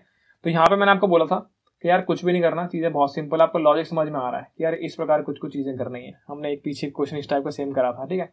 इतना सारे क्वेश्चन हमने आपको कराए तो ये वाला क्वेश्चन आपको एज अ होमवर्क ट्रीट करना है। इसको खुद सॉल्व करने का ट्राई करना और ट्राई करने के डेढ़ एक डेढ़ घंटा अप्रोच में सोचने में लगाओ। जल्दी हो जाए, बहुत अच्छी बात है। पाँच मिनट में आ बहुत अच्छी बात है। बट एडिटोरियल उतनी जल्दी मत देखना आंसर सोल्यूशन उतनी जल्दी मत देखना ट्राई खुद मारना पहले। बहुत अच्छा क्वेश्चन है, बहुत इंपॉर्टेंट क्वेश्चन है, बहुत ज़्यादा पूछा जाता है। इजी भी मत जाना, पूछा जाता है क्वेश्चन ऑनलाइन टेस्ट में एज इट इज़ का एज इट इज़ आ जाएगा भाई। As it is as it is ठीक है? तो इस प्रकार ही आपको करना है। एक बार होमवर्क में इसको करना और समझ में आएगा, बड़ा प्यारा क्वेश्चन है। आगे बढ़ते हैं अगले क्वेश्चन की तरफ़। ये बड़ा प्यारा क्वेश्चन था यार, मैंने कोड भी कर दिया था, इसका देखो। अब दोबारा करते हैं रीसेट कर देता हूँ इसको मैं। रीसेट कर दिया। दोबारा पढ़ते हैं। क्वेश्चन क्या कहता है? String compression. स्ट्रिंग कंप्रेशन हमें करना है। अगर आप ध्यान से क्वेश्चन पढ़ेंगे तो आपको क्या समझ में आएगा? पढ़ना पहले क्वेश्चन एक बार। कि आपको इनपुट में कुछ कुछ दिया हुआ है। इनपुट में दिया इस प्रकार। A A B B B C C C इस प्रकार दिया हुआ ठीक है? आपको आउटपुट में क्या देना है? ए कितनी बार है? एक, दो। दो बार है तो ए कॉमा टू बी कितनी बार है? एक, दो, तीन। तीन बार है तो बी कॉमा थ्री और सी कितनी बार है? एक, दो, तीन। सी कॉमा थ्री दोस्त, ये आपका आउटपुट है। ये आपको आउटपुट देना है। समझ में आ गई चीज़? हमें बस करेक्टर बताना है और वो कितनी बार आए वो बताना है। एक्सेप्शन क्या है? एक्सेप्शन ये दिया हुआ है कि अगर काउंट वन है, अगर कोई भी करेक्टर एक बार है तो सिर्फ़ वो करेक्टर लिख देना। काउंट की नीड नहीं है। क्या भैया कैसे समझ में आई? कोई बात नहीं, समझाते हैं। यानी कि अगर इनपुट इस प्रकार है, मान लो कि ए ए बी एक ही बार है सी सी और डी डी दो बार। ए कितनी बार है? ए दो बार है। बी कितनी बार है? बी एक बार है तो जब एक बार होगा तो लिखने की नीड नहीं है। सिंपल बी लिख दो बस। सी कितनी बार है? दो बार है। सी दो बार है। डी कितनी बार है? दो बार है। डी दो बार तो आपका ये जो है, ये आंसर हो गया। ये वाली चीज़ की मैं बात कर रहा हूँ। ठीक है?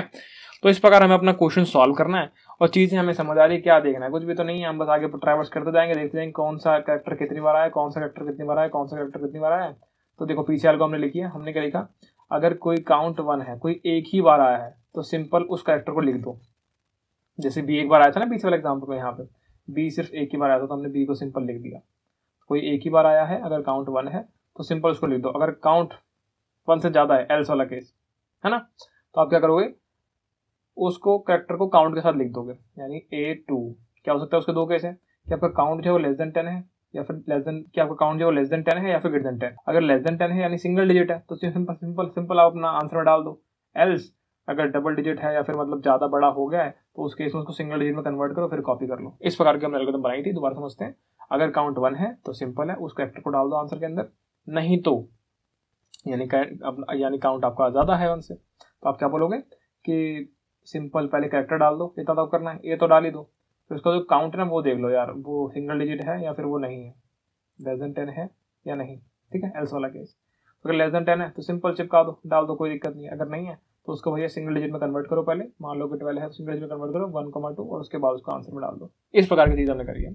रफ ओवर भी आपको समझ में आ गिनती करनी है, गिनती करके लिख देना है, बस। वन है तो नहीं लिखूँगा। सिंपल चीज़ है, इतनी बात आपको समझ में आ गई।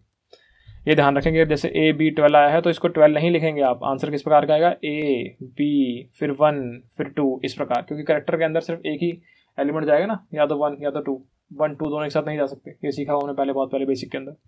तो इसको सॉल्व करने का ट्राई करते हैं दोस्त। ये मैं कर चुका हूँ। तो चलो, कोई नहीं। Int I is equal to zero एक हमने ये पॉइंटर बनाया, एक हमने वेरिएबल बनाया, जो कि दर्शा रहा है आपकी कैरेक्टर एरे की स्टार्टिंग को। ठीक है? फिर मैंने एक आंसर इंडेक्स बनाया। ज़ीरो आंसर इंडेक्स क्या है? इसने क्या बोला आपको? एक बहुत इंपॉर्टेंट चीज़ कि जो भी आप आंसर निकालोगे ना, जैसे आपने ये आंसर निकाला है तो दोस्त इसके लिए अलग से स्पेस मत लेना। ये जो आपने अलग से, ये जो आंसर निकाला ना इस आंसर को इसी के अंदर ही पॉपुलेट करना। जो इनपुट में आपको वेक्टर दिया है, इसी के अंदर ही पॉपुलेट करना। अलग से कोई वेक्टर अलग से कोई स्ट्रिंग अलग से कोई आंसर मत लेना। तो उसलिए हमने ये आंसर इंडेक्स लिया कि जो भी वैलिड पॉइंट होगा, जो भी वैलिड आंसर होगा वैलिड एलिमेंट होगा वैलिड करेक्टर होगा, उसको मैं आंसर इंडेक्स पे डालूँगा और इंक्रीमेंट करता रहूँगा। जैसे हमने पीछे वाले वैलिड वाले क्वेश्चन में देखा था राइट हमें कंप्रेस वाला जो फ़ंक्शन है आउटपुट में क्या देगा? ये देगा हमें कि जो, ये जो हमारा आउटपुट हमने निकाला है, इसका साइज़ क्या है? वो साइज़ हमें रिटर्न करना है। ठीक है? क्वेश्चन एक बार ढंग से पढ़ना। मैंने आपको ढंग से नहीं बताया क्वेश्चन आपको खुद पढ़ना है एक बार। उसके बाद सॉल्व करने बैठना है वीडियो देखने बैठना। दोबारा समझाता हूँ। आपने इसको सॉल्व करना है इस प्रकार, और जो ये आंसर आने वाला है, इसको आप इसी एरे में डालेंगे। और जो इस आंसर का साइज़ है, इस वेक्टर का, वो आपको कम, इसके मेथड के फ़ंक्शन के आउटपुट में देना है। ठीक है? इतना आपने कर दिया। अब आपने बोला कि वाइल जब तक आई लेस देन इसको थोड़ा अच्छा कर लेते हैं। मैंने इसको, मान लो नंबर है इंट एन में डाल दिया इसको कैर्स डॉट साइज़ को। थोड़ा लिखने में आसानी होगी। तो जब तक while i less than n है तो कुछ मत करो। आप जाओ, उसका अगला एलिमेंट उठा लो। उसका अगला एलिमेंट क्या है? आई प्लस वन जे में स्टोर कर लिया आपने। आपको बेसिकली क्या करना है? हर कैरेक्टर को आगे वाले से कंपेयर करना है। अगर सेम है तो आप प्लस प्लस काउंट करते जाओगे। काउंट को बढ़ाते जाओगे। अगर डिफरेंट है तो रुक जाओगे। रुकने के बाद क्या करोगे? उसको डालोगे पहले। कैरेक्टर को आंसर के अंदर, फिर उसका काउंट देखोगे सिंगल डिजिट है डबल डिजिट है, उस हिसाब से डालोगे, ठीक है? तो हम पहले क्या करते हैं कंपेयर करा लेते हैं। हमने कंपेयर करा while j less than n सबसे पहले तो भाई रेंज से बाहर मत भाग जाना जैसे जे लेस देन एन और फिर कंपेयर कराएँगे। Chars of i is equal to is equal to chars of j अगर ये इक्वल है तो भैया लगे रहो, और क्या करो जे को आगे बढ़ाते रहो, इस प्रकार ठीक है? तो आपने ये वाला काम कर लिया। अब आप इस लूप से जब बाहर आओगे, यहाँ कब आओगे? दो ही केसेस में गया यहाँ पे। या तो वेक्टर पूरा ट्रैवर्स कर दिया। या फिर क्या हुआ होगा? न्यू या डिफरेंट करेक्टर एनकाउंटर किया। है मान लो पहले ए था आपको बी मिल गया तो बी मिलते ही बाहर आ गया आपके, रुक जाओ। पहले ए वाले का आंसर स्टोर कर लेता हूँ, फिर बी की बात करेंगे। चलो, ठीक है? आपने क्या किया? पहले मैं अपना जो करेक्टर मेरा है ना, उसको स्टोर कर लेता हूँ। कैसे करोगे? Chars of answer index plus plus इसमें क्या करोगे? कैर्स ऑफ़ आई ये आपने स्टोर कर लिया। ठीक है? इसको मैं क्या बोलूँगा? कि ओल्ड करेक्टर स्टोर कर लो। ये कर दिया आप फिर आपने इसका काउंट निकाला एक बार काउंट तो स्टोर कर लूँ। तो आपने काउंट निकाला। काउंट कैसे निकलेगा? जे माइनस आई ठीक है? आई पे आपका फ़र्स्ट मोस्ट प्रेजेंस है, फ़र्स्ट मोस्ट ऑकरेंस है, और जे पे आपका नया वाला एलिमेंट हो सकता है, नया वाला वेक्टर हो सकता है, या फिर आपके वेक्टर का लास्ट इंडेक्स मतलब वेक्टर का लास्ट इंडेक्स है मतलब बेसिकली आप वेक्टर से बाहर निकल गए तो जे माइनस आई करेंगे, आपका काउंट निकल जाएगा। अब काउंट के ऊपर कंडीशन थी कि यार काउंट जो है वो ग्रेटर देन वन होगा तो ही आप डालना। ये कंडीशन है अगर काउंट ग्रेटर देन वन होगा तो ही आप आंसर में डालना तो मत डालना। तो आपने क्या बोला if count is greater than one तो मैं कुछ कुछ करूँगा। क्या करूँगा?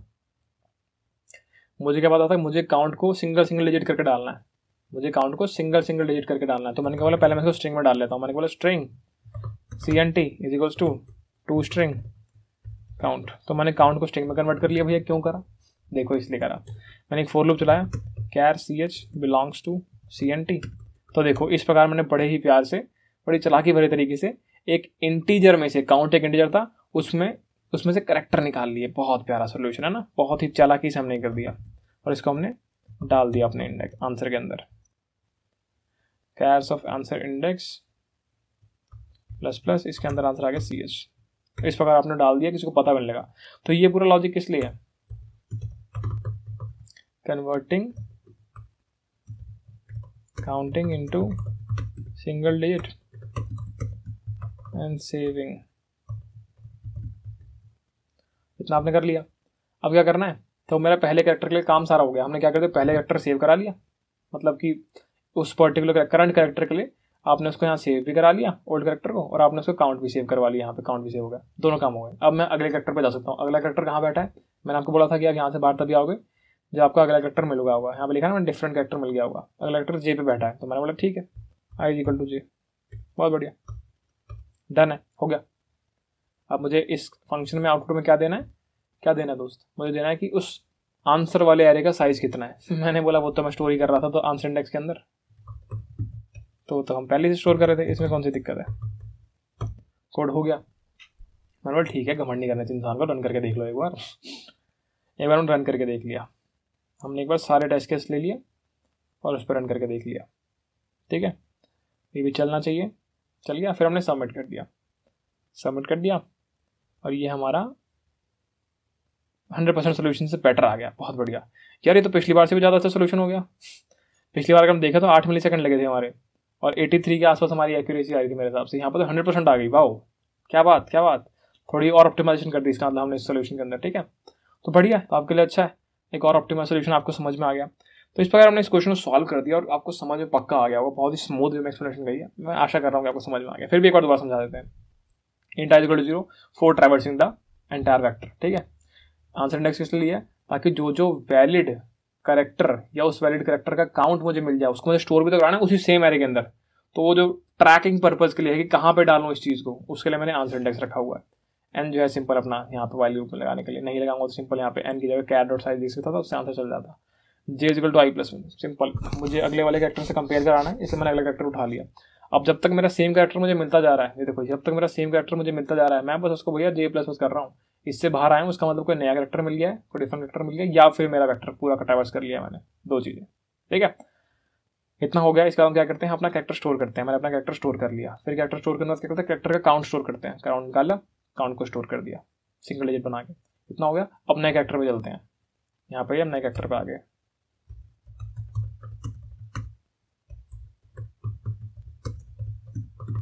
इस प्रकार नए कैरेक्टर पे आ गए और भैया आपने आंसर रिटर्न कर दिया। तो इस प्रकार आपने क्वेश्चन सॉल्व कर लिया और आपको मज़ा आ गया। मैं एक्सपेक्ट कर रहा हूँ कि आपको ये समझ में आ गया होगा। तो हमने बहुत सारे क्वेश्चन कर हैं इस वीडियो के अंदर और टाइम बहुत ज़्यादा हो चुका है यार। टाइम आपको दर्शाऊँ तो बहुत टाइम हो चुका है। छः बज के इकतीस मिनट हो रहे हैं। सुबह के छः बज के इकतीस मिनट है। रात के नहीं है। आप मेरी आँखों को देख के पता लगा सकते हैं। मेरी हालत देख के पता लगा सकते हैं। आवाज़ भी डाउन होगी मेरे हिसाब से। तो इस वीडियो में इतना ही था यार, और मैं आशा कर रहा हूँ कि आपको समझ में आ गया होगा, बहुत मज़ा भी आएगा इसको सॉल्व करने में क्वेश्चन को। बहुत इंपॉर्टेंट क्वेश्चन है। ये जो क्वेश्चन हमने अभी किया है स्ट्रिंग कंप्रेशन ऑनलाइन टेस्ट में एज इट इज़ आ जाता है। इंटरव्यूज़ में एज इट इज़ पूछ लेते हैं। कॉम्प्लेक्सिटी इसकी देख लेते हैं एक बार। हमने बोला था, हमें बोला था कि कॉन्स्टेंट स्पेस में करना है क्वेश्चन देखो, हमने वेरिएबल बनाया वेरिएबल बनाया। अंदर भी कुछ देखो, सिर्फ़ वेरिएबल बनाए कोई एक्स्ट्रा स्पेस नहीं लिया कॉन्स्टेंट स्पेस में क्वेश्चन कर दिया, ठीक है? और टाइम कॉम्प्लेक्सिटी ध्यान से देखो, एक ही वाइल लूप है। अंदर तो बस ट्रैवल्स कर रहे हैं। ध्यान से अगर लॉजिक देखोगे तो आपको समझ आएगा कि हमने बस इस पूरे वेक्टर को ट्रैवल्स किया है। तो अगर मैं कॉम्प्लेक्सिटी की बात करूँ तो बिग ऑफ़ एन आ जाएगी। एन क्या है? इस वेक्टर का size time complexity of n space complexity of one ठीक है? दोनों चीज़ आपको समझ में आ चुकी होगी और ये बोलूँगा कि एक बार इसका डिस्कशन फॉरम देख लेना। एक बार इसका एडिटोरियल भी देख लेना। एडिटोरियल है नहीं शायद इसका। तो वहाँ से आपको और अच्छे से सोल्यूशन भी शायद मिल सकते हैं। पर मेरे हिसाब से ये बहुत अच्छा सोल्यूशन है क्योंकि हमने हंड्रेड परसेंट बीट कर लिया तो इससे अच्छा सोल्यूशन तो नहीं मिलेगा। पर और अलग अलग अप्रोचेज आपको मिल सकती है, ठीक है? तो ठीक है? कमेंट सेक्शन में बता के जाना भैया। बहुत मज़ा आ रहा है। बिल्कुल मज़ा नहीं आ रहा है। हर चीज़, या फिर दो घंटे, इतने मिनट तक मैं देख रहा था भैया। मैंने पूरी वीडियो देखी है।